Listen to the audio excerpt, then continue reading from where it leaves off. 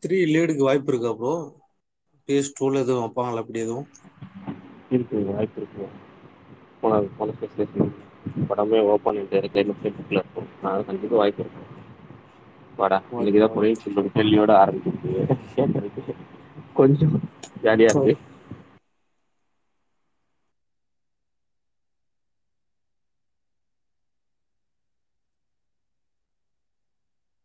ஏ Karthi bro ஆளயே காணோம் Karthi bro வருவாரு. நீ ஓகே ஓகே பொன்னியின் செல்வன் பத்தி பேச சொன்னாரு உங்கள. ஓகே ஓகே சரி ரைட்டு பொன்னியின் செல்வன் ஸ்பேஸ்ல யார் யாரெல்லாம் டவுட் இருக்கு கேளுங்க பாப்போம்.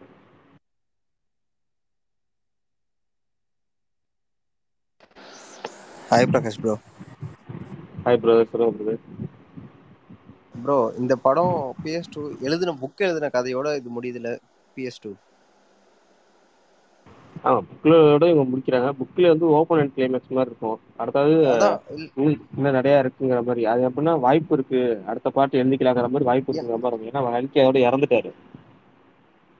அதுக்கப்புறம். அதான் ப்ரோ இப்போ புக்கு படிச்சவங்க எக்ஸ்பெக்டேஷனுக்காக இந்த பார்ட் ஒன் பார்ட் டூன்னா கூட அடுத்த மீதி இருக்கிறதெல்லாம் இப்போ யாருக்குமே எக்ஸ்பெக்டேஷன் எப்படி சொல்றது? இதுல இதுதான் நடக்கணும். ஏன் மாத்தி பண்றீங்கன்ற கேட்கறதுக்கு அந்த லிமிட் இல்லாதனால கொஞ்சம் இவங்களே ஃப்ரீ ஒரு ஃப்ரீடம் கிடைக்கும்லன்ற பிஎஸ் த்ரீக்கு உண்மையாலுமே அப்பதான் வந்து உண்மையாலுமே ஒரு புது படமா எடுக்க முடியும் அவங்களால. ஏதாவது நினைச்சதை எடுக்க முடியும். நீங்க சொல்ற மாதிரி அவங்க டோட்டல் ஃப்ரீடம் கிடைக்கும். என்ன நினைச்சாலும் எடுக்கலாம். ஏன்னா அவன் உடையார் இருக்கிறது உடையார் பேஸ் பண்ணி ஒரு கதையும் இல்ல இல்ல அதுக்கப்புறம் இவங்களே கல்வெட்டை பார்த்து ஏதாவது ஒரு கதையும் எடுக்கலாம் சேர்த்து எடுக்கலாம். இல்ல இப்ப இந்த படம் வந்து ரெண்டு பாட்டு தானே சொன்னாங்க. மூணு பாட்டு எடுத்திருக்காங்களா இப்போ? இல்ல இல்ல. இவங்க எடுத்திருக்க ரெண்டே பாட்டு தான் எடுத்திருக்காங்க. ஒரு விளம்பரத்துக்காக வந்து நாங்க வந்து மூணாவது பாட்டு எடுப்போம் அப்படிங்கிற மாதிரி சொல்லியிருக்கிறாங்க. பின்னாடி வந்து வாய்ப்பு இருக்கு. அதாவது படம் எடுக்கிறது வாய்ப்பு இல்ல. என்ன ஒரு வாய்ப்பு ராஜராஜ சோழனா நடிக்கிறதுக்கு அந்த கதையில நடிக்கிறதுக்கு ஒரு வாய்ப்பு இருக்கு. தனிப்பட்ட முறையில் வேற யாராவது. டைரக்ட் பண்ணா கூட ஒரு வாய்ப்பு. ஆமா. ஏன்னா பின்னாடி எப்பவுமே வந்து கிடைச்ச வாய்ப்பு பயன்படுத்திக்கலாங்க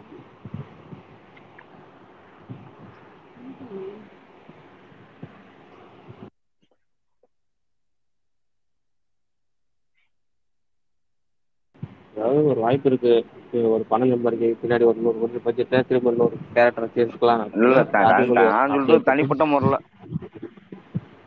ஒரு ராஜராஜ ஒரு சோழன் எடுத்தாங்கன்னாக்க அவருக்கு வாய்ப்பு இருக்கு. ரவி சாருக்கு வாய்ப்பு இருக்கு. ஆமா. சிவாஜி அடிச்ச நான் ராஜராஜ சோழன். அதான் அதுதான் ஃபிளாப் ஆச்சு. இந்த வாட்டி தனியா திருப்பி ராஜராஜ சோழன் எடுத்து ஹிட்டாக்கி விட்டுறாங்க. ஐலாண்ட் ப்ரோமோ யார் யார் பார்த்தீங்க? சொல்லுங்க உங்களுக்கு எப்படி இருந்துச்சு அயலான் ப்ரோமோ நான் அந்த படத்துக்கு பையன் ஷூட்டிங் ஆரம்பிச்சதுல வெயிட்டிங்க எனக்கு அந்த கிளிம்ஸை வரான் பசங்களுக்காக எடுத்த மாதிரி தான் இருந்துச்சு. அவங்க கவரே பண்றதுக்காக ஏன் நான் ஹீரோ கோசம்லாம் பார்க்காதீங்க. டைரக்டர் நல்ல டைரக்டர் நல்ல நான் அதுக்கோசம் தான் எதிர்பார்க்கறேன். நான் அந்த கான்செப்ட் சொல்றேன். நீங்க அவங்க ஃபர்ஸ்ட் லுக்கே அப்படி தானே விட்டுருக்காங்க. ஃபர்ஸ்ட் லுக்கே வந்து லாலிபாப் சாப்பிட்ற மாதிரி தானே ஃபர்ஸ்ட் லுக்கே விட்டாங்க. குழந்தைகளுக்கான படமா ஆனா என்னன்னா ஒரு பேன் இந்திய ஆக்ஷன் என்டர்டைன்மெண்ட் படம் பட் அதுல மெயினா அட்ராக்ஷன் வந்து மெயின் அட்ராக்ஷன் குழந்தைகளுக்காக தான் அவங்க எடுத்திருக்காங்க மெயின் அட்ராக்ஷன் அவங்களுக்கு. பார்த்தா அதுதான் ஃபர்ஸ்ட் லுக்ல எவ்வளவு விளக்கமா சொல்லிட்டாங்களே. ஆமா ஏன்னா அது மூணு வருஷத்துக்கு கண்டிப்பா. முன்னாடி எடுத்தனால சிவகார்த்திகேயன் ஃபுல்லா அந்த கிட்ஸ் ஃபேவரட்டாவே இருந்தாரு. அந்த இதுல அப்ப எடுத்தனால அப்படியே தான் இருந்திருக்கும். ஏங்க டைரக்டர் வந்து காம்ப்ரமைஸே பண்ண பண்ண மாட்டாருங்க. அதெல்லாம் தரமா வரும் படம். என்ன பாருங்க. பந்தே அடிக்கும். Bro Prakash bro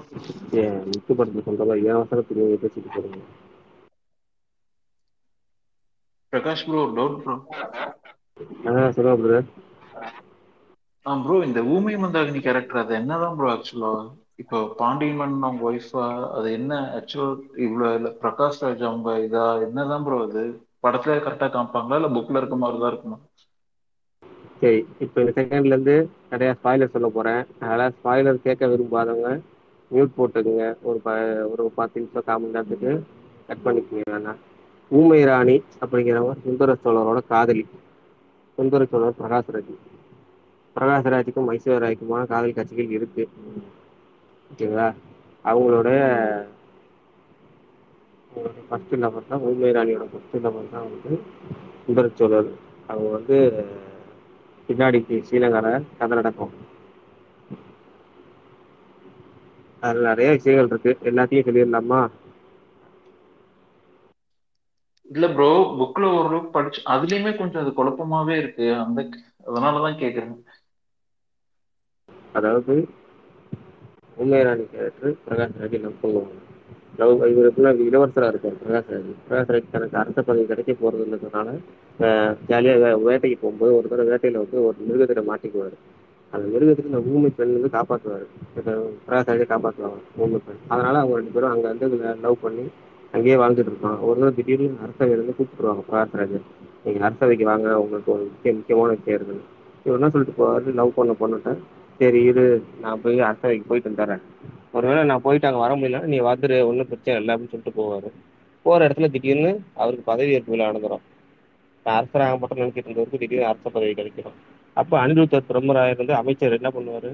இன்னொரு அரசராக போறவர் சாதாரண பொண்ணை லவ் பண்ணக்கூடாதுங்கிறதுக்காக பிரகாசராஜ் போய் சொல்லிடுவார். அவங்க இறந்துட்டாங்க அப்படின்னு போய் சொல்லிடுவார். அந்த பொய்யை நம்பி பிரகாசராஜ் இன்னொரு கல்யாணம் பண்ணிக்குவார்.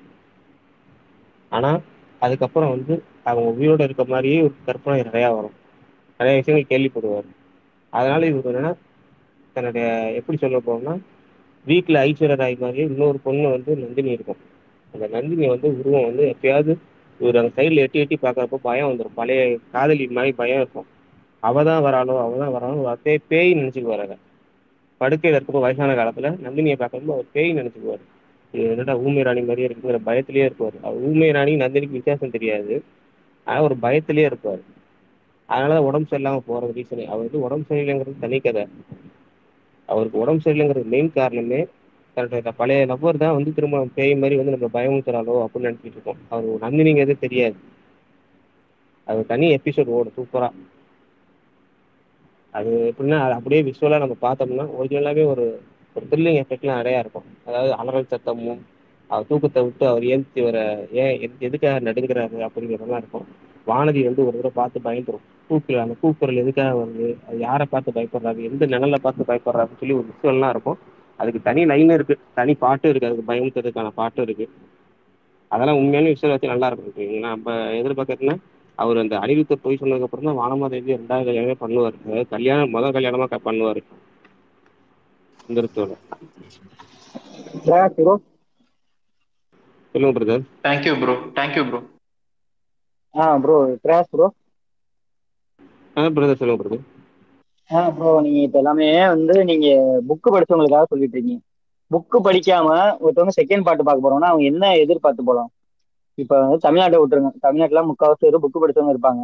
பட் வந்து இப்ப நீங்க வந்து ஃபேன் இந்தியான்னு சொல்லும்போது நிறைய ஏரியால வந்து புக்கே படிச்சிருக்க மாட்டாங்க. பட் அவங்க எதை எதிர்பார்த்து போலாம் செகண்ட் பார்ட்டுக்கு அவங்களுக்கு என்ன இம்பாக்ட் பண்ணிருக்கு செகண்ட் பார்ட்ல வரலாற்று கதையில முத முதல்ல இந்த போர்ட் காட்சிகள் ரொம்ப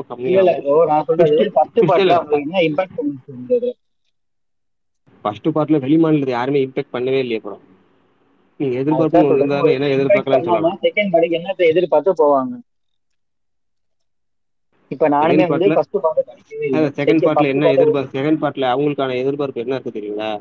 திரும்ப தமிழ்நாட்டு இல்ல. திரும்ப தமிழ்நாட்டுல முத நாள் ரிலீஸ் அப்ப ஐயோ ஆஹா ஓஹோ அப்படின்னு ஒரு ரிவ்யூ வரும். எப்படின்னா என்ன இப்படி ஒரு டெஸ்ட் இருக்கு அப்படி ஒரு டெஸ்ட் இருக்கு எப்படி ஒரு டெஸ்ட் இருக்குன்னு. அதை பார்த்து அவங்களுக்கு ஓடுறீங்க என்ன திரும்ப கஷ்டப்பட்டு நம்ம பார்த்தோம். நமக்கு ஒன்றும் புரியல. இவங்க ரெண்டாவது தடவையும் கொண்டாடுறாங்களே அப்படின்னு அப்படி ஒரு எதிர்பார்ப்பு வந்தா உண்டே தவிர ரிலீஸுக்கு முன்னாடி ப்ரீ ரிலீஸ்ல இந்த படத்து மேலே இப்படி இப்படி வருமோ அப்படி வருமோ எதிர்பார்ப்பு கம்மியா வெளி மாநிலத்துக்கு கம்மி.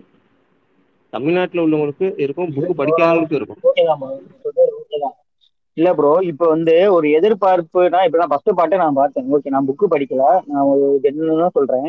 எனக்கு வந்து செகண்ட் பாட்டுல ஒரு இம்பாக்ட் இல்ல. சரி செகண்ட் பாட்டு பார்க்கணும். ஏன்னா ஃபர்ஸ்ட் பாட்டு பார்க்கணும்னு ஒரு ரொம்ப ஆசையா இருந்துச்சு. சரி அதை என்னதான் பண்ணிட்டாங்க பொன்னியின் செல்வன் பொன்னியின் செல்வன்றதுக்காகவே போனேன். பட் அது செகண்ட் பாட்டு எனக்கு அது ஒரு இம்பாக்ட் கிரியேட்டே பண்ணலையே ப்ரோ இதே மாதிரிதால வந்து நீ தமிழ்நாடு விட்டுட்டா அடுத்து நீங்க உள்ள தெலுங்கு கன்னடா மலையாளம் அப்படின்றவங்க அப்போ எப்படி என்ன இன்வைட் பண்ணி அவங்களை எப்படி உள்ள கூட்டு போகும்னு கேக்குறேன். நம்ம வந்து தமிழ்நாட்டுல வசூல் ஒண்ணுமே பண்ண முடியாது. புரியுது தமிழ்நாடு எடுத்துட்டா சொல்றது இருநூத்தி நாற்பதுக்கு மேல. சொல்றது வெளி மாநிலத்தவங்க எப்படி இம்பாக்ட் பண்ணும் கண்டிப்பா கேக்குறீங்க. ஃபர்ஸ்ட் இல்ல ப்ரோ பாகுபலியோட கம்பேர் பண்றேன் என்ன சொல்றேன்னா நீங்க தப்பா வச்சுக்காதீங்க பாகுபலியில வந்து பார்ட் ஒன்னு வந்துச்சு. அது என்ன இன்வைட் பண்ணுச்சுன்னா நம்ம தமிழ்ல தான் அவங்க வந்து தெலுங்கு ஃபுல்லா வந்து தெலுங்கு வாட தான் இருந்துச்சு படத்துல. ஆனா பட் வந்து அந்த கட்டப்பா ஏன் கொண்டியான்னு சொல்லிட்டு ஒரு இம்பாக்ட் இருந்துச்சு. அது வந்து இது வந்து இது வந்து பிஎஸ் ஒன்ல வந்து அதை இம்பாக்ட் கிரியேட் பண்ணலன்னு சொல்றேன். பண்ணல தான் பண்ணல தான் ஏன்னா அதுக்கு வந்து எப்படின்னா அஞ்சு புக்கு உள்ள கதை அதை வந்து ஒரு பா ரெண்டு பார்ட்டாக எடுத்திருக்காங்க. அதில் வந்து கடைசியாக சுருக்கியிருக்காங்க. அது கேரக்டர் எஸ்டாப்ளிஷ் பண்ணி ஒவ்வொரு கேரக்டரையும் நமக்கு அறிமுகப்படுத்தி அந்த கேரக்டருக்குள்ள குணாதிசயங்களை நமக்கு வந்து கன்வே பண்ணா தான் வந்து நம்ம ரெண்டாவது பாட்டு எதிர்பார்க்க முடியும். ஆனால் வந்து இங்கே கேரக்டரை அவங்க நிறைய கேரக்டர் சுருக்கிட்டாங்க. பல கேரக்டர் காமிக்கவே இல்லையே ஃபர்ஸ்ட் பார்ட்லேயே மணிமேகலை கேரக்டர்லாம் காமிக்கவே இல்லைங்கிறப்ப அந்த இம்பாக்ட் குறைய தான் செய்யும். இது வந்து ஒன்றுமே பண்ண முடியாது தவிர்க்க முடியாது. புக் டு சினிமா கன்வர்ஷன் இதுதான். சில நேரத்துக்கு தவறுகளாக நடக்கலாம். சில பேத்துக்கு அது இருக்கும் நான் என்ன என்னுடைய பாயிண்ட் ஆஃப் வியூ அந்த எதிர்பார்க்குற விஷயம் என்னன்னா படம் ரிலீஸ்க்கு அப்புறம் தான் இந்த படமும் ஃபர்ஸ்ட் பார்ட் அப்போ நான் வந்து முதல் ரிலீஸ் முதல் பார்ட் ரிலீஸ் அப்போ நம்ம ஆன்லைன் பர்ச்சேஸ் தாண்டி ஆஃப்லைனில் யாரும் படம் மேலே ஒரு எதிர்பார்ப்பும் இல்லாத மாதிரி இருந்துச்சு. ஆனால் திடீர்னு ரிலீஸ்க்கு அப்புறம் செம்ம பிக்கப் ஆச்சு. படைத்தனைக்கு வந்து இப்போ வந்து படிச்சவங்களுக்கு வந்து முழு திருப்தியை கொடுத்துட்டாலும் கிடையாது தான் இருந்தாலும் புக்கில் உள்ளவங்க புக்கை படிச்சவங்க ஃபுல்லாக பார்க்க வந்தாங்க வயசானவங்களாம் பார்க்க வந்தாங்க. இப்பயும் அதே மாதிரி இந்த படம் இதுக்கு போனது நேற்று வரைக்கும் கூட ஜீரோ எக்ஸ்பெக்டேஷன் தாங்கிற மாதிரி இருந்துச்சு பார்க்கறதுக்கு. ஆனால் வந்து பார்த்தீங்கன்னா திருச்சியில் புக்கிங் ஓப்பன் பண்ணோன்னா டோட்டல் ஷோவும் ஃபுல்லு டோட்டல் ஷோவும் ஃபுல் இல்லைன்னா இது என்ன சொல்ல வருதுன்னா ஃபர்ஸ்ட் பார்ட் பார்த்தவங்க கண்டிப்பாக பார்க்க தான் வர போகிறாங்க அதுக்கப்புறம் வந்து படம் நல்லா பார்த்துருக்கீங்க பட் வந்து எனக்கு ஒரு இம்பாக்டே கிரியேட் பண்ணல ப்ரோ நான் சொல்றேன் என்னைய மாரி நானே சொல்லிட்டேன் ஒத்துக்கிறேன் கிரியேட் பண்ணலன்னு. கிரியேட் தான் பண்ணலையே. ஆனால் நீங்க பாத்துருவீங்க எப்படியும் பாத்துருவீங்க படத்தை. அதுதான் விஷயம். வந்து தமிழ் சினிமால வந்து விதைக்கணும்னு நினைச்சவங்க ஒரு வெப் சீரிஸா எடுத்து ஒரு அஞ்சு பாட்டு ஆறு பாட்டு பண்ணி அதோட க கதையை வந்து டீட்டெயிலா சொல்லியிருக்கலாம். எதுக்கு செகண்ட் பார்ட்டா எடுத்து ஒரு மார்க்கெட்டிங்காக ஒரு படம் பண்ண மாதிரி இருக்குன்னு சொல்றேன். ஒரு மார்க்கெட் அவங்க படம் சம்பாதிக்கிறதுக்காக நினைச்சா எடுத்துட்டாங்க அவ்வளவுதான். இதுக்கு மேல எடுக்க முடியாது.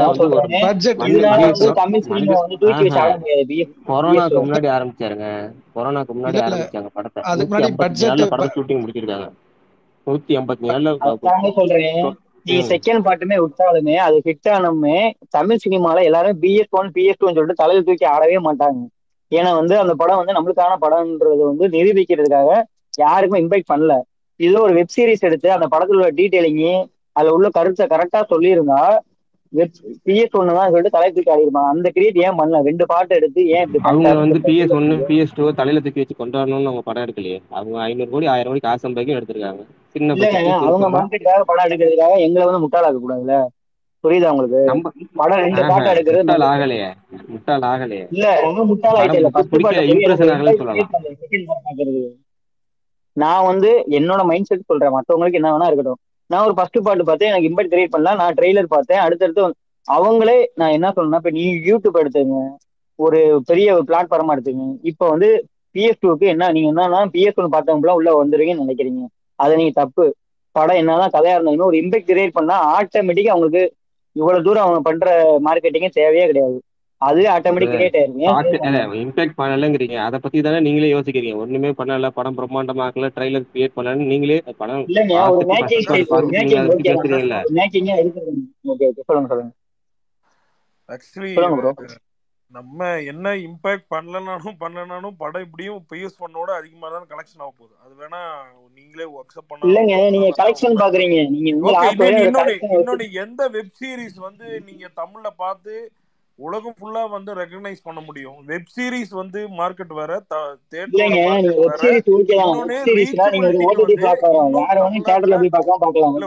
தமிழ்நாட்டுல எவ்வளவு இடத்துல வந்து தியேட்டருக்கு இருக்கிற பிசினஸும் பிசினஸ் மட்டும் இல்ல வியூபிள் எல்லாரும் போய் பாக்குறது உண்டு. எத்தனை பேர் வெப்சீரியில பாக்குற எத்தனை பேர் வந்து இல்லைங்க அதாங்க நானும் சொல்றேன். இல்ல இல்ல இப்போ வந்து நீங்க வந்து வந்து ஒரு பெரிய சொல்லுங்க இது வந்து இதுக்கு அந்த அட்டம்ப்டுக்காகவே எல்லாரும் போய் பாக்குறாங்க அவ்வளவுதான். இதை எ- எடுத்ததுக்கே இல்லைங்க ஒரு அட்டம்ப்ட் அட்டம்ப்ட் பெரிய ஓகே தான். இல்ல ஆ. ரிச்சன் ப்ரோ ஓகே தான் ப்ரோ அட்டம்ப்ட் ஓகே தான். பட் வந்து நம்மளுக்குள்ள ஒரு இம்பாக்ட் உங்களுக்கு ஒரு இம்பாக்ட் கிரியேட் பண்ணிச்சா நீங்க ஏன் சொல்லுங்க. கிரியேட் பண்ணாதுன்னா நம்ம இப்ப மைண்ட் செட்லாம் வேற மாதிரி எல்லாருக்குமே இருக்கு. எல்லாருமே ஹாலிவுட் படம் எல்லாத்தையும் இப்போ உள்ள மைண்ட் செட்டுக்கு ஏத்த மாதிரி படம் பண்ணணும்னு சொல்றேன். புரியுதா உங்களுக்கு? பிஎஸ்பி வந்து தலைவர் தூக்கி வச்சு ஆடுற அளவுக்கு நீங்க பிரதர் நீங்க வந்து உங்களை மாதிரி ஒரு படம் இல்ல இல்ல பிரதர் ஒரே நிமிஷம். இல்ல வராது இல்ல மேட்டுக்குடி படத்துல வந்து என்னன்னா இத வந்து எப்படி பண்ணிருக்கிறாங்கன்னு தான் பேசணும் அத பத்தி தான் நம்ம பேசணும் ஒழிய இப்ப வந்து இப்ப எனக்கு கூட அன்னைக்கு ஒரு டவுட் இருக்கு. ஊமே ராணியும் வந்து நந்தினியும் ஒரே மாதிரி இருக்கிறாங்க. அது என்ன இதுன்னு சின்ன சின்ன நம் நம்மளுக்கு அதுல இருந்து ஒரு இது அதுல தான் நம்ம பேசணும் ஒழிய இது பண்றதுனால என்ன யூஸ் இல்லைங்க உங்களுக்கு டவுட் இருக்கு. எங்களுக்கு நான் கதை படிக்காம எனக்கு டவுட் இருக்கு. அது வேற கதை கதை படிக்கலையே பிரகாஷ். அதைத்தாங்க சொல்றேன். கடை படிச்சவங்களுக்கே டவுட் இருக்கும்போது இல்ல நீங்க கடை படிக்க சொல்லிட்டீங்க. கடை படிக்காதவங்களுக்கு அந்த டவுட் தான் இருக்கு. கடை படிச்சவங்களுக்கு அப்படின்றப்போ ஒரு ஸ்கிரீன் பிளே இன்னும் கொஞ்சம் ஸ்ட்ராங்கா பண்ணிருக்கலாமே சொல்றேன். எல்லாருமே சொல்றது இதுதான். என்னன்னா ஸ்கிரீன் பிளே வந்து கிரிப்பிங்கான ஸ்கிரீன் பிளே பண்ணலாம். பட் ஆனா நீங்க கதை படிச்சவங்களுக்கு வந்து நிறைய இருக்கு. பட் ஆனா இதை தாண்டி பண்ண முடியாது. வேற யாருமே என்ன அத வந்து எப்படின்னா டிராமா ஸ்கிரீன் பிளே மாதிரி தான் பண்ண முடியும். ஏன்னா நம்ம வந்து ரொம்ப ரொம்ப சுவாரஸ்யமா இருக்கிறது என்ன ஆட் பண்ண முடியும்? உள்ள ஒன்றும் ஆட் பண்ண முடியாது. அது கரெக்ட் தானே பிரகாஷ்? ஒண்ணு என்ன ஆட் பண்ண முடியும்? என்ன வந்து அவரு இல்ல அவரு ஒரே விஷயம் மேட்டுக்குடி படத்துல கவுண்டர் பண்ணிட்டு சொல்லுவார்ல என்ன என்ன எனக்கு ஒண்ணே சொல்லுங்க. இப்ப மாதிரி வாய்ஸ் ஓவர்ல ஒரு அவர் பிஎஸ் ஒன்னது ஒன்று ஒரு ஒரு முன்னோட்டம் மாதிரி விட்டாங்கல்ல? அதுல ஜெயம் ரவி சொல்றாரு இது வந்து ஊமை ராணி வந்து நந்தினின்னு அது மாதிரி ஒரு கட்ல விடுறாங்க. அது வந்து என்ன நந்தினிக்கு ஊமை ராணிக்கு ஏதாவது தொடர்பு இருக்குமா இல்ல எப்படி? I mean Prakash dialogue editing இப்ப இப்ப சும்மா திரும்ப அது சொல்ல போறது இல்ல இல்ல இல்ல திரும்ப சொல்ல போறது சரி இன்னொன்னு இன்னைக்கு ஸ்பேஸ் வந்து ஒரு ஸ்பாய்லர்னு எடுத்துக்கங்க. ஊமை ராணி ஊமை ராணியோட பொண்ணு தான் நந்தினி. ஓகேங்களா? ஊமை ராணியோட பொண்ணு தான் நந்தினி. இதுதான் வந்து அவங்க வந்து ஸ்பாய்லர்ல ட்ரைலர்ல வந்து பையனா கிடையாது கிடையாது கிடையாது. அது ட்விட்டர்ல ரெண்டு பேர் கேட்டிருந்தாங்க. பொன்னியின் செல்வன் வந்து ஊமை ராணியோட பையன் கிடையாது. ஊமை ராணிக்கு ட்வின்ஸ் ரெண்டு ரெட்ட குழந்தைங்க. ஒரு குழந்தை நந்தினி இன்னொரு குழந்தைங்கிற சஸ்பென்ஸா வச்சுங்க யாருன்னு தேட்டர்ல பாருங்க. ஏன்னா அதனாச்சும் ஒரு சஸ்பென்ஸ் இருக்கட்டும். ஏன்னா நந்தினி ஒரே மாதிரி இருக்காங்கங்கிறனால ட்விஸ்ட் வேணா நமக்கு சொல்லலாம். மற்றபடி சொல்லிடாதீங்க இல்ல அதுதான். மற்றது தேட்டர்ல போய் பாருங்க அது நல்லா இருக்கும் ரெட்ட குழந்தைகள் இருக்கும். அது ரெட்ட குழந்தைங்க நம்ம நான் சொன்ன மாதிரி ஏற்கனவே சொன்ன மாதிரி ஆலா வைகுண்டபுரம்ல சீன் மாதிரி ஒரு சீன் இருக்கு இங்க. அதாவது இந்த சீன் தான் ஆலா வைகுண்டபுரம்ல எடுத்திருப்பாங்க ஓப்பனிங் சீனு குழந்தைகள் இடம் மாற்றங்கிறது அந்த ரெட்ட குழந்தைகள் ஒன்று இருக்கு. அது யாருங்கிறத தேட்டர்ல போய் பாருங்க. ப்ரோ அப்ப நந்தினியோட அப்பா வந்துட்டு சுந்தர சோழரா? ஆஹா. அது அதுதான். அது சில விஷயங்கள் இருக்கு. எல்லாத்தையும் எல்லா டெஸ்டிங் சொன்னாலும் ஜாலியா இருக்காது. ஸ்பாயிலர் இருக்கும். இன்னும் மூணு நாள் இருக்கு. வேணா டெய்லி ஒவ்வொன்றா வேணா. லைஸா லேசா தூவி விடுவோம். பத்த வச்சு பறக்க விடுவோம். ஓகே ப்ரோ பிரகாஷ் ப்ரோ நல்லா இருக்கீங்களா? நல்லா இருக்கு பிரதர் ப்ரோ எனக்கு ஒரு கொஸ்டின் ப்ரோ பிஎஸ் ஒன்ல ஒரு கேரக்டர் வந்து இப்ப என்ன சொல்றது நிறைய கேரக்டர் இருக்கு. அதுல வந்து ஒரு கேரக்டர் வந்து என்னடா இந்த இந்த கேரக்டர் ஒரு படத்துக்கு தேவையா எதுக்காக வச்சிருக்காங்கன்னே தெரியல அப்படின்ற மாதிரி ஒரு சில கேரக்டர் இருக்கு. அந்த மாதிரி ஏதாவது ஒரு வெயிட் அந்த டம்மியா இருந்த ஒரு பிஎஸ் ஒன்ல டம்மியா இருந்த ஒரு கேரக்டர் பிஎஸ் டூல இது கண்டிப்பா நீங்க எதிர்பார்க்கலாம். பயங்கரமா ஃபயரா இருக்கும் அந்த கேரக்டர் அப்படின்னு ஏதாவது கேரக்டர் இருக்கா ப்ரோ டம்மியா இருந்து டோட்டல் ஃபயர் அப்படிங்கிறதுக்கு ஒண்ணும் இல்ல. வேணா ஒரு கேரக்டர் சொல்லலாம். ஒரு சாதா கேரக்டருக்கு என்னடா விக்ரம் பிரபுங்கிற மாதிரி நீங்க ஃபர்ஸ்ட் ஆஃப் நினைச்சிருக்கலாம் ஒரு பார்த்தி மந்திர கேரக்டர் சும்மா கூட தானே இருக்கு. அது எதுக்குடா விக்ரம் பிரபு? வேற இன்னொரு ஃபைட் அடிச்சு போட்டிருக்காமே நினைச்சிருக்கலாம் ஆனா செகண்ட் பார்ட்ல அந்த பார்ட்டி பந்தங்கிற ரோல் வந்து நெகட்டிவ் சைடுக்கு மாறும். டோட்டலா வந்து தான் ஃப்ரெண்டை பலி கொடுக்க போறேங்கிற மாதிரி ஒரு கான்செப்ட் வரும். எது? ஃபர்ஸ்ட் பார்ட்ல என்னடா ஒரு பொண்ணுக்காகடா இப்படி சண்டை போடுற போர் போடுறேன்னு கேட்ட ஒரே ஆள் அதே பொண்ணுக்காக அப்படியே மாறுறது. கேரக்டர் மாறுறது ஒன்று இருக்கு. அப்போ வந்து இந்த கேரக்டர் வந்து ஃபர்ஸ்ட் பார்ட்டுக்கும் இதுக்கும் கொஞ்சம் டிஃப்ரெண்ட் ஆகும். உங்களுக்கு ஷேடு தெரியும். அவ்வளவுதான். இது மாதிரி ஒரு சில கேரக்டர் மட்டும் இருக்கு. பிஎஸ் டூ இன்ட்ரோ அந்த யூடியூப்ல விட்டுருக்காங்களா ப்ரோ அது சாட்டிஸ்ஃபைடா இருக்குன்னு நினைக்கிறீங்களா? ஏன்னா பாகுபலி ஒன்னுக்கு பாகுபலியோட கம்பேர் பண்ணி தப்பாடுது ஜஸ்ட் பாகுபலி டூ பாக்குறப்ப ஒரு விஎஃப்எக்ஸ்ல போட்டு அதை காட்டியிருப்பாங்க. ஒரு ரீகால் மாதிரி. அந்த மாதிரி ஏதாவது பண்ணிருக்கலாமோ அப்படின்ற மாதிரி எனக்கு தோணுது. உங்களுக்கு எப்படி ப்ரோ இருக்கு? இல்ல ஜஸ்ட் ஒரு ரீகேப் மாதிரி நமக்கு ப்ரோமோ மாதிரி தானே விட்டுருக்காங்க. எனக்கு அதெல்லாம் ஏன்னா அதை பார்த்து யாரும் வர போறது இல்லைன்னு சொல்லிட்டாங்க. நான் அன்னைக்கு ஒரு ட்ரைலர் ஒரு இது ஒரு ட்வீட் பண்ணி போட்டிருந்தேன். புது ஒரு ட்ரைலர் கட்டு போடுங்க ஒன்னே ஒருத்தர் போட்டிருந்தாரு. எப்படி போட்டாலும் சரி. இது பார்க்கணும்னு நினைக்கிறவங்க கண்டிப்பா தேட்டருக்கு வந்துடுவாங்க மற்றவங்க யாரும் வர போறது இல்லைன்னு. அதனால ஒரு ரீகால் ஒரு ரீகால் இப்போ அவங்க விட்டதே ரீகேப் மாதிரி தான் நமக்கு. இதே தான் தேட்டர்லயும் வரும்ல ப்ரோ ஸ்டார்டிங்ல இல்ல இல்ல இல்ல இல்ல. அவங்க அடிஷனல் வாய்ஸ் அடிஷனல் கிளிம்ஸ் ரெடியா வரும். சீன்ஸ் விசுவல்ஸ் ரெடியா வரும். அதெல்லாம். ஓகே அதாவது இப்போ நமக்கு வந்து காமிச்சிருக்கிறது வந்து இருபது செகண்டுக்குள்ள கமல் வாய்ஸ் ஓவர் இருக்குன்னா தேட்டர்ல வந்து உங்களுக்கு கிட்டத்தட்ட வந்து ஒரு நிமிஷத்துக்கிட்ட வாய்ஸ் ஓவர் வரும் டைட்டில்ல ப்ரோ ரொம்ப ஸ்பாய்லர் சொல்லாதீங்க ப்ரோ யாருமே பொன்னியின் செல்வன் பத்தி பேசலையே அப்ப பேசினாலும் பரபரப்பா இருக்கும்.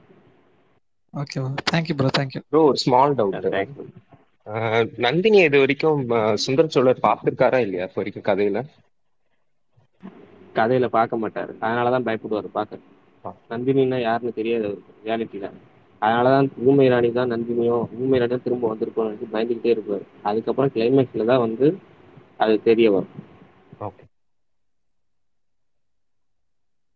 அதனாலேயே நந்தினி பயந்துக்கிட்டே இருக்கும். நைட்ல நைட்ல வந்து ஒரு உருவம் மாதிரி வந்து பயமுறுத்தும். இது நைட்ல பயன்படுத்துறத வச்சு அதாவது அது எதுக்குன்னு தெரியாது. அதுக்குமே நந்தினிக்குமே தெரியாது. தன்னை பார்த்து சுந்தர சோழர் பயப்படுறாங்கிறத ஒரு பெருமையா நினைச்சிட்டு செய்வாங்க? அது ஊமை ராணி தன்னை மாதிரியே இன்னொருத்தவங்க இருக்காங்கன்னு தெரியாது. இப்ப அம்மா இருக்காங்கன்னா அவங்களுக்கும் தெரியாது. செகண்ட் பார்ட்ல அதை வந்தியத்தேவன் வந்து சொல்லும் போதுமே வந்தியத்தேவன் மேல சந்தேகப்படுவாங்க. இவன் வந்தியத்தேவன் நம்ம மைண்ட் குழப்பறதா பண்றாங்க ப்ரோ வன்னியத்தேவனுக்கும் குந்தவிக்கும் கடைசி வரைக்கும் வெறும் லவ் ஸ்டோரி வெறும் எப்படி சொல்றது? இப்போ ஃபர்ஸ்ட் பார்ட்ல காமிச்ச மாதிரி தான் செகண்ட் பார்ட்லயும் போகுமா? இல்ல கொஞ்சம் எஸ்டாப்ளிஷா போகும் எப்படி போகும்னா அஹ், ரெண்டாவது தடவை சந்திக்கும் போது சொல்லிடுவாங்க இந்த வந்தியத்தேவன் வந்து ஒரு உண்மையை சொல்லுவான் குந்தவைகிட்ட ஒரு ரகசியத்தை. அதுக்கப்புறம் அவன் சொல்லுவாங்க இந்த உண்மையை வந்து நீங்க ஒரு ஆள்கிட்ட கொண்டு போய் சொல்லணும். அப்போ வந்ததுக்கப்புறம் நமக்கு வந்து நீங்க இல்லாம உறுதிப்படுத்திட்டு போவாங்க. அப்ப நீங்க புறமுலக பாக்குற அந்த க- அதாவது எப்படின்னா வந்தியத்தேவனை பொறுத்த வரைக்கும் செகண்ட் பார்ட் போறாங்க. அவன் தப்பிக்கிறது ஜெயிலுக்கு போறது தப்பிக்கிறது ஜெயிலுக்கு போறது தப்பிக்கிறது ஜெயிலுக்கு போறது அவனை கொலை பண்றதுக்கு அவனுக்கு மரண தண்டனை கொடுக்கறதுமே இருக்கும்.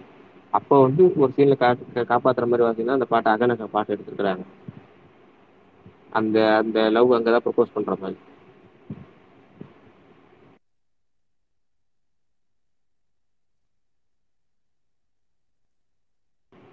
சொல்லுங்க விக்கி பேசணும்னு சொல்லியிருக்கீங்க. சொல்லுங்க. ப்ரோ நிறைய பேர் சொல்றாங்க ஐபிஎல்ன்றாங்க எனக்கு தெரிஞ்சு ஐபிஎல்ன்றது இல்லைன்றது அந்த சோஷியல் மீடியால மட்டும் தான் ப்ரோ மேபி வந்து அஹ் இந்த ஃபேமிலி ஆடியன்ஸ்லாம் இருக்காங்களே அவங்களாம் என்னன்னா ஃபர்ஸ்டே வந்து ஏன்னா எல்லாருக்கும் ஒர்க் இருக்கும். நிறைய நிறைய ஸ்கூல்ல எக்ஸாம் போயிட்டு இருக்குன்னு நினைக்கிறேன். எக்ஸாம் முடிஞ்சிருச்சா எனக்கு தெரியல. அதனால மேபி அவங்க கொஞ்ச நாள் கழிச்சு எல்லாரும் வந்து கண்டிப்பா தேடு. அந்த ஃபர்ஸ்ட் டே வந்து புக்கிங் வந்து ஃபுல் ஆகல. அதுக்காக ஐப் சொல்றாங்க.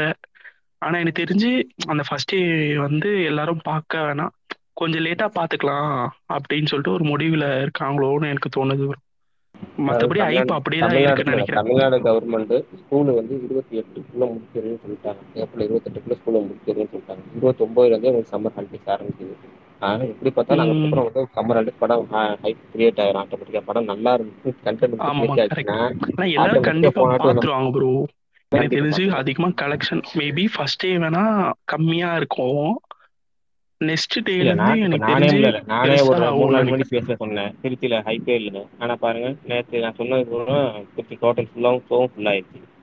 எல்லா மெயின் ஸ்கிரீன் ம். ரிலீஸ் பண்ணி டோட்டல் ஃபுல் ஆயிடுச்சு. இன்னும் அடுத்த என்ன நிறைய ஸ்கிரீன் ஓப்பன் அதாவது சொல்ல போனால் தமிழ்நாட்டில் ஆல்மோஸ்ட் எல்லா ஸ்கிரீன்லையுமே ரிலீஸ் பண்ண போறாங்க சொல்லிட்டு அதிலே முதல் நாலஞ்சு நாளே வசூல் ஹவுஸ்ஃபுல்லாக ஓடுச்சுனாலே படம் சுற்றிக்கும் இப்போ நானே ப்ரோ இப்போ என் ஃபேமிலியில வந்து ஒரு சிக்ஸ் மெம்பர்ஸ் செவன் மெம்பர்ஸ் கிட்ட போவோம் ஓகேவா இப்போ டிக்கெட் டிக்கெட் ப்ரைஸ் வந்து ஒன் நைன்டி ஓகேவா பார்த்தோன்னே என்னடா இது ஒன் நைன்டி கொடுத்து போகணுமா? ஒரு த்ரீ டேஸ் கழிச்சு hundred one twenty one fifty வரும்.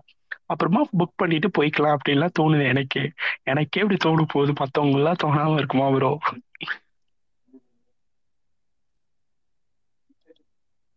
கண்டிப்பாக ஃபேமிலி ஃபேமிலி மெம்பர் ஃபேமிலி பிரச்சனைங்கிறப்ப அதெல்லாம் யோசிக்கணும்ல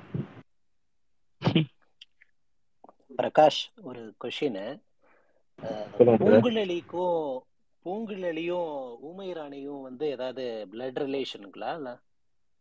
அத்தை அத்தை அத்தை. அதாவது ஊமை ராணியோட அண்ணன் அண்ணன் பொண்ணு தான் வந்து பூங்குழலி. Okay okay. அதே மாதிரி இப்ப சேந்தன் அமுதனும் பூங்குழலியும் தானே கடைசியா மேரேஜ் பண்ணிப்பாங்க சேந்தன் அமுதனோட ஸ்பாய்லர்னு சொல்லாதீங்க. ஸ்பாய்லரும் சொல்ல வேணாம். அதாவது சேந்த நமுதன் கூட முறை பொண்ணு தான் பூங்குழலி. ஓகே பட் ஆனா சேந்தன் அமுதன் கேரக்டர் பாத்தீங்கன்னா பிஎஸ் ஒன்ல பெருசாவே இல்ல. அவரும் ஒரு முக்கியமான கேரக்டர் தானே. இப்ப எனக்கு தெரிஞ்சு ஒரு சீனோ ரெண்டு சீனோ தான் வருவார் அது வந்து அவங்க வந்து அதை வந்து PS2 வேணுக்கே தான் வச்சுக்கிறாங்க. ஏன்னா வந்து ஒரு இம்பார்ட்டன்ட் கேரக்டர் வந்து நம்ம வந்து ஃபர்ஸ்ட்ல சாதாரண கரெக்டாக காமிச்சா அவங்க செகண்ட் பார்ட்ல இம்பார்ட்டன்ட் கேரக்டர் நீங்க வந்து சொல்லும்போது கொஞ்சம் மாதிரி ட்விஸ்டா இருக்கும். அதனால அவங்க வச்சுருக்காங்க அதை. அதனால கிளைமேக்ஸ்ல உங்களுக்கு மெயினான விஷயம் இருக்குல்ல. ஓகே ஓகே சோ அப்ப பிஎஸ் டூல சேந்தன் அமுதன் கேரக்டர் கொஞ்சம் நல்லா பெருசா வரும்ன்றீங்க. நிறைய சீன்ஸ் ஆமா அதாவது சிம்பிள் வந்தியத்தேவன் மூலமா ஒரு ட்விஸ்ட் அப்புறம் சேந்த நம்புதன் மூலமா ஒரு ட்விஸ்ட் அது ரெண்டு உண்மையும் தெரிய வரும் யாருக்கே குந்தவைக்கு. அதனால வந்து நினைச்சிட்டு அவங்க ஒரு கற்பனையில போகும்போது அனிருத்த பெருமராயர் மூலமா ஒரு ட்விஸ்ட் வரும். உண்மை அவர் ஒரு உண்மையை சொல்லுவாரு. சரி ஆஹா மூணாவது உண்மை கிடைச்சிக்கிறான்னு சொல்லி சந்தோஷமா அப்பாட்ட போய் கேட்கலாங்கிறப்ப அப்பா ஒரு உண்மையை சொல்லுவாரு. அடப்பா வச்சா நீ என்னடா ஒரு உண்மையை சொல்றீங்க வச்சா அங்க இருந்து வந்தா திரும்ப வந்தியத்தேவன் ரெண்டாவது உண்மையை சொல்லுவான். ஆஹா அப்ப நாளா இவங்க தெரிஞ்சிருக்கு அப்படிங்கிறப்ப அவங்க ஒரு முடிவு எடுப்பாங்க. அதாவது எப்படின்னா இதெல்லாம் பிசினஸ்ல ஸ்பாய்லர் மாதிரி நான் பார்ப்போம். நான் சொல்றேன். அது நடக்கட்டும். டெய்லி இருக்குல்ல ஒவ்வொன்றா சொல்லுவோம். ஓகே ஓகே தேங்க்ஸுங்க ஓகே ப்ரோ கார்த்தி ப்ரோ வரலையா? ஆமாங்க. டெய்லி சண்டே போட்டு தான் கேக்குறீங்க. அவர் வந்து சண்டையை போட்டு விட்டுறீங்க ஏதாச்சும். பழைய இப்போ சண்டைக்கு போயிருங்க பாக்ஸ் பாக்ஸ்ல லேட்டஸ்ட் வந்தாலும் இல்ல இல்ல பரவாயில்ல ப்ரோ இப்ப என்ன ரீசெண்டா ஜி தமிழ்ல ஒரு வெப் சீரிஸ் ரிலீஸ் ஆச்சு. அத பத்தி யாருமே வந்து குரூப்லயும் பேசல ட்விட்டர்லயும் அதிகமா பேசல. யாராவது பார்த்தாங்களா?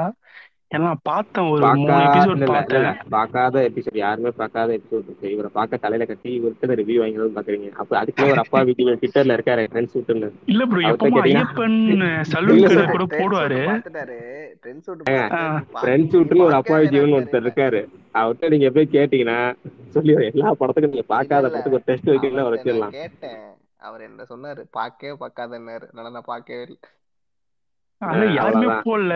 ஒரு மூணு எபிசோட் பார்த்தேன் ப்ரோ அந்த பையன் கேரக்டர் இருக்குல்ல பிலோ டென்த்தா அவன் லெவல்த் படிக்கிறானான்னு தெரியல. பிலாசபிலாம் பேசுவான் ப்ரோ படத்துல. என்னால தாங்க முடியல. மூணு எபிசோட் மேல தாங்க முடியல.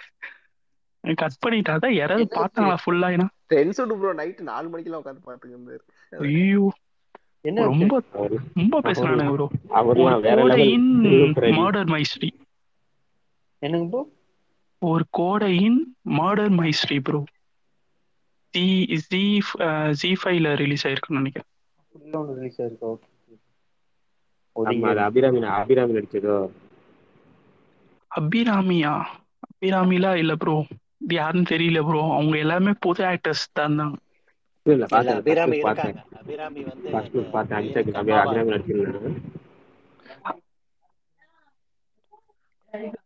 நானும் பார்த்தேன் அந்த பையன் எயித்து படிக்கிற கேரக்டர் எயிட்டா சூப்பர் ப்ரோ டைரக்டர் யாருன்னு தெரியல ப்ரோ பயங்கர ஜிவிஎம் இன்ஃப்ளூயன்ஸ் போல. அப்படியே பேசுறதெல்லாம் இங்கிலீஷ்ல. எதுக்குன்னே தேவையே இல்லை அது. சரியான குப்பை அது அந்த கண்டென்ட் சத்தியமா இருக்கிறதுலே ஃபுல்லா பாத்துட்டீங்களா ப்ரோ ஏதாவது ட்விஸ்ட் ஏதாவது ட்விஸ்ட் ஏதாவது ஒர்த்தா இருந்ததா ப்ரோ ப்ரோ அது என்ன சொல்றது? ரொம்ப மட்டமா இருந்தது. அது வெப் சீரிஸ்னே சொல்லக்கூடாது. அதுக்கு அந்த அது டேரக்டர் யார் தெரியுமா? சில மணி சில நேரங்களில் சில மனிதர்கள் டேரக்டர் என்ன ப்ரோ சொல்றீங்க? ப்ரோ ப்ரோ உண்மையாவா ப்ரோ ஆமா ப்ரோ விஷால் வெங்கட். ஓ சீரியஸா குப்பை குப்பை இது இது அந்த வெப் சீரிஸ் ஒர்த்தே கிடையாது.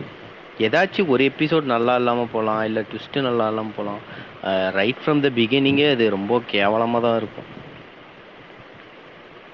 ஆமா ப்ரோ ஒரு ரெண்டு எபிசோட் ஸ்ட்ரேஞ்சர் ரெண்டா மூணான்னு தெரியல. திங்ஸ் பசங்க மாதிரி நாலு பேரை சேர்த்திட்டு.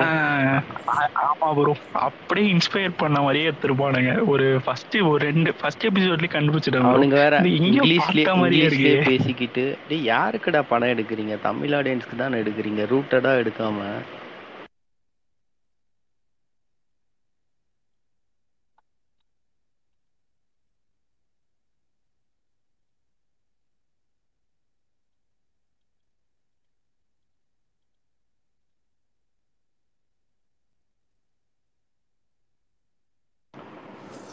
பிரகாஷ் ப்ரோ உங்ககிட்ட ஒரு டவுட்டு.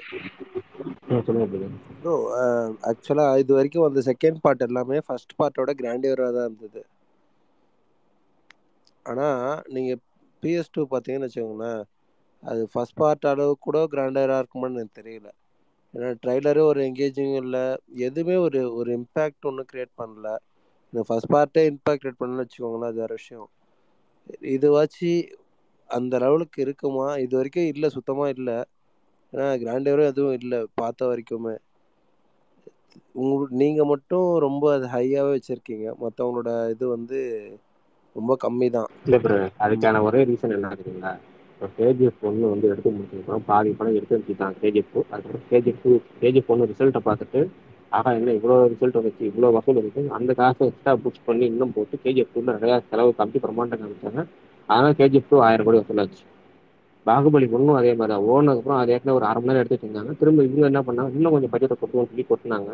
எடுத்தாங்க. அந்த காசை வந்த காசை கொட்டினாங்க கொட்டி எடுத்தாங்க. ஆனா இப்போ இது வந்து அப்படி கிடையாது. நூத்தி ஐம்பத்தஞ்சு நாள்ல ரெண்டு பாட்டி சேர்த்து எடுத்து முடிச்சிட்டாங்க. நமக்கு ஒரே சாப்பாடை ரெண்டாவது தடவை அவ்வளவுதான்.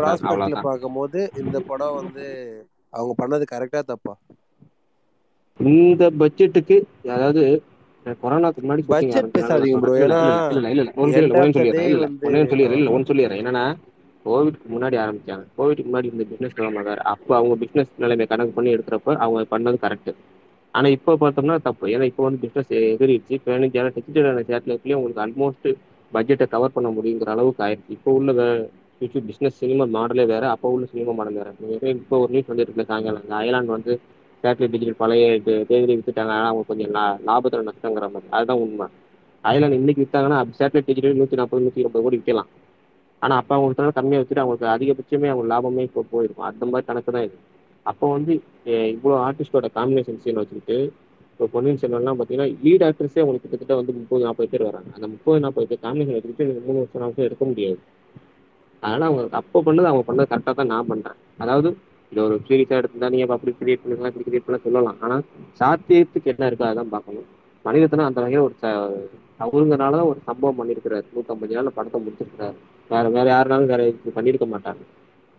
வேற யாருக்காகவும் இவ்வளவு தூரம் இறங்கி ஆடியன்ஸ் வந்திருக்க மாட்டாங்க. ப்ரோ மணியத்திரம் பண்ணிருக்க மாட்டேன் எல்லாமே ஓகே அட்லீஸ்ட் வந்து இது வரைக்கும் பண்ண எல்லா ஃபர்ஸ்ட் பார்ட்டும் வந்து சட்டிலாக பே பண்ணியிருப்பாங்க செகண்ட் பார்ட்டில் வந்து ஹை பாயிண்ட்ஸ் நிறைய இருக்கும்.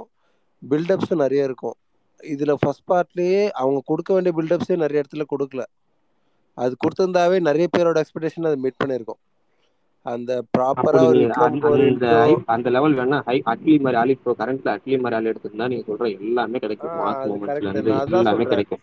ஏன்னா இப்போ வந்து ஆடியன்ஸோட பல்ஸ் வந்து ஆடியன்ஸோட பல்ஸ் வந்து மோர் ஓவர் சேஞ்ச் ஆயிடுச்சு.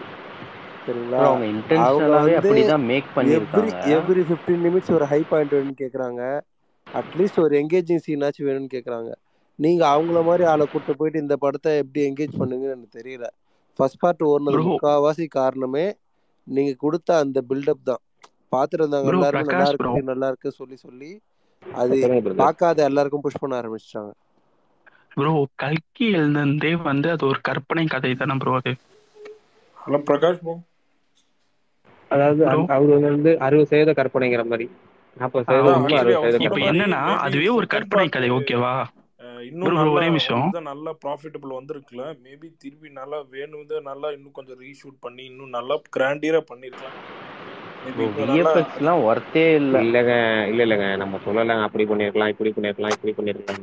சொல்றது ஈஸி செய்யறது கஷ்டம். அவங்க செஞ்சுட்டாங்க. இல்ல.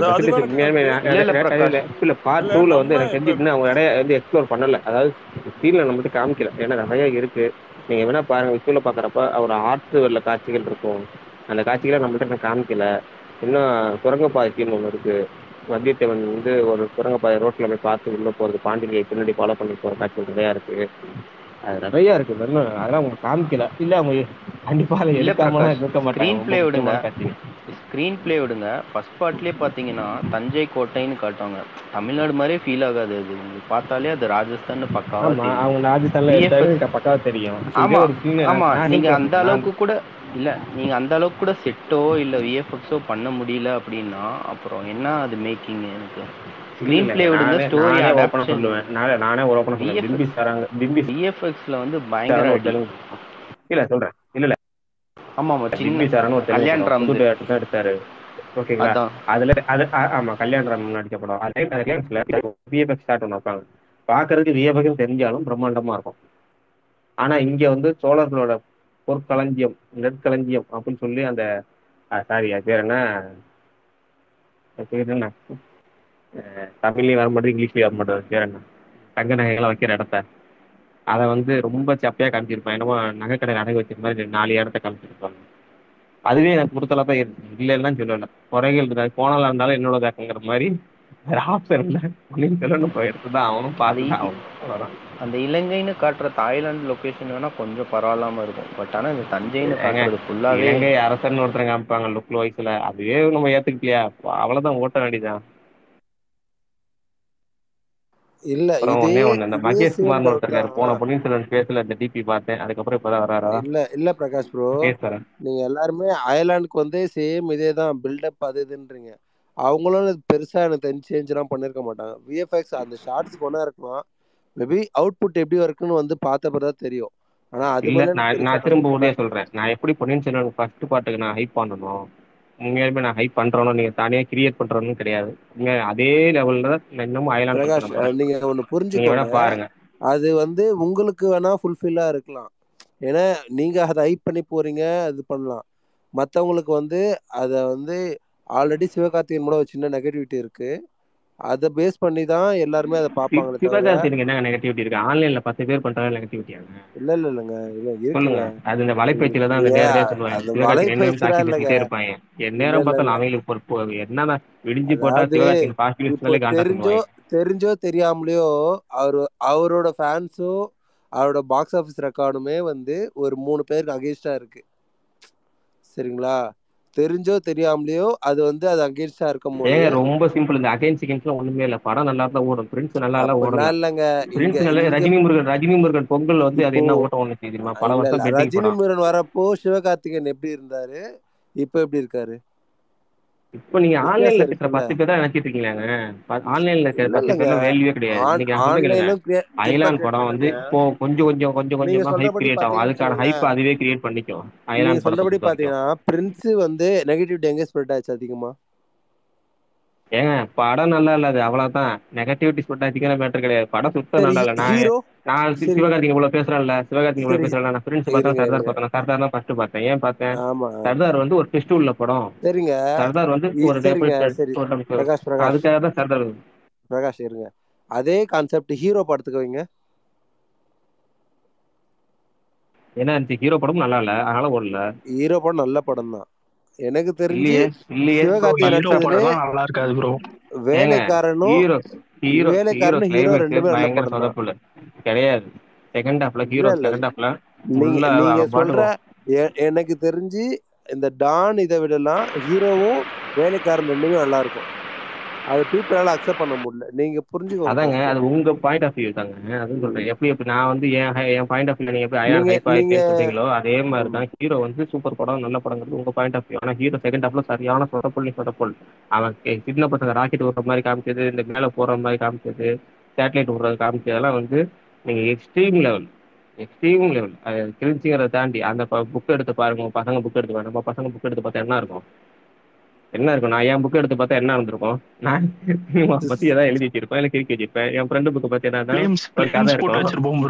ஃப்ளேம்ஸ் போட்டு வச்சிருப்போம் இல்ல மிஞ்சி போனா அதை பார்த்தா என்ன இருக்கும்? அது சொல்றேன். கதை கண்டென்ட் சரியில்லை ஓடல அவ்வளவுதான். சிவகார்த்திகேயன் சிவகார்த்திகேயன் நெகட்டிவிட்டி அந்த கிடையாது. ஃபிட் ஆகல. ஒரே நிமிஷம். வேற எதுவுமே காரணம் இல்லை. அந்த அவர் மேல அந்த ஒரு நெகட்டிவிட்டி தான் அந்த படத்தை ஃபிளாப் ஆனதுக்கு காரணமே. அதை ஃபர்ஸ்ட் சரி புரிஞ்சுக்கோங்க நீங்க நம்புறீங்க அப்படியே நம்ப. வச்சுக்கீங்க. ஆனா இன்னொரு சொல்றேன் ஏன் கேட்டுங்க ப்ரோ டான் ஆன்லைன் இல்லைங்க ஓடுச்சு நெகட்டிவிட்டில கிடையாது டானு டாக்டர் சிவகார்த்திகேயனுக்கு ஏன் ப்ரோ ஓடுச்சு? என்ன ப்ரோ டானும் டாக்டர் ஏன் ப்ரோ ஓடுச்சு? டான் டாக்டர் வந்து பர்ஃபெக்ட் மீட்டருங்க அது ஒரு கமர்ஷியல் மீட்டர் பக்கா மீட்டர் அதான் ப்ரோ அதே பர்ஃபெக்ட் மீட்டர் வந்து அது இல்ல இல்ல விஜய்க்கு இப்ப எப்படி வாரிசு வந்து பர்ஃபெக்ட் மீட்டரோ அந்த மாதிரி தான் டானுக்கு வந்து சிவகார்த்திகேயன். அதான் சொல்றேன். ஹீரோவும் அதே மாதிரி பர்ஃபெக்ட் மீட்டர் இருந்தா அதுவும் ஓடி இருக்கும் அதுதான் சொல்றேன். இப்ப நான் கேட்டது ஹீரோ பத்தி பேசுறேன்ல. நான் பேசுனது வந்து நெகட்டிவிட்டின்னு எப்படி சொல்லுவீங்க?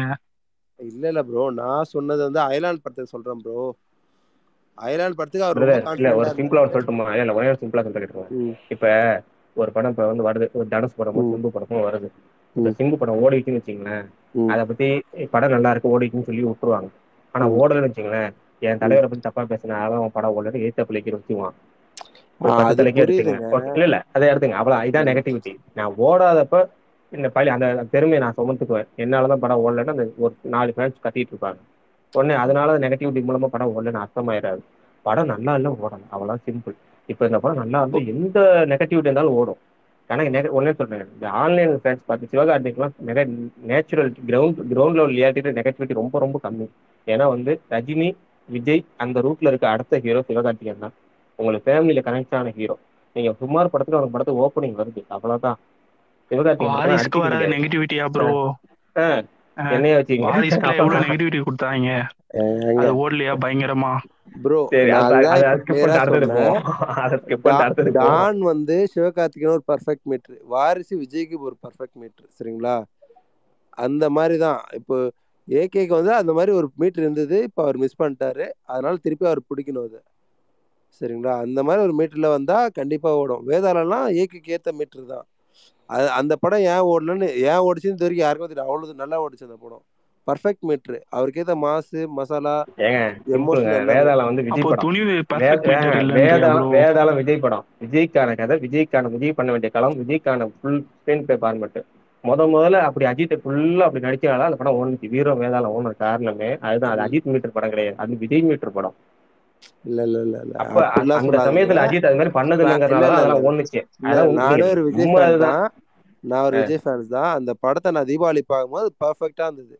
அஜித்துக்கு இந்த ட்ரைலர் மெட்டீரியல் ஃபிலிம் மாதிரி தான் இருந்தது ஆக்சுவலா அந்த ஒரு பில்டப் எல்லாமே வந்து கரெக்டா இருந்தது. விஜய்க்கு வந்து ஒரு ஹீரோனே இல்லாம எடுத்துட்டு போனா நல்லா இருக்குமா படம்? நீங்க என்னங்க பேசுறீங்க?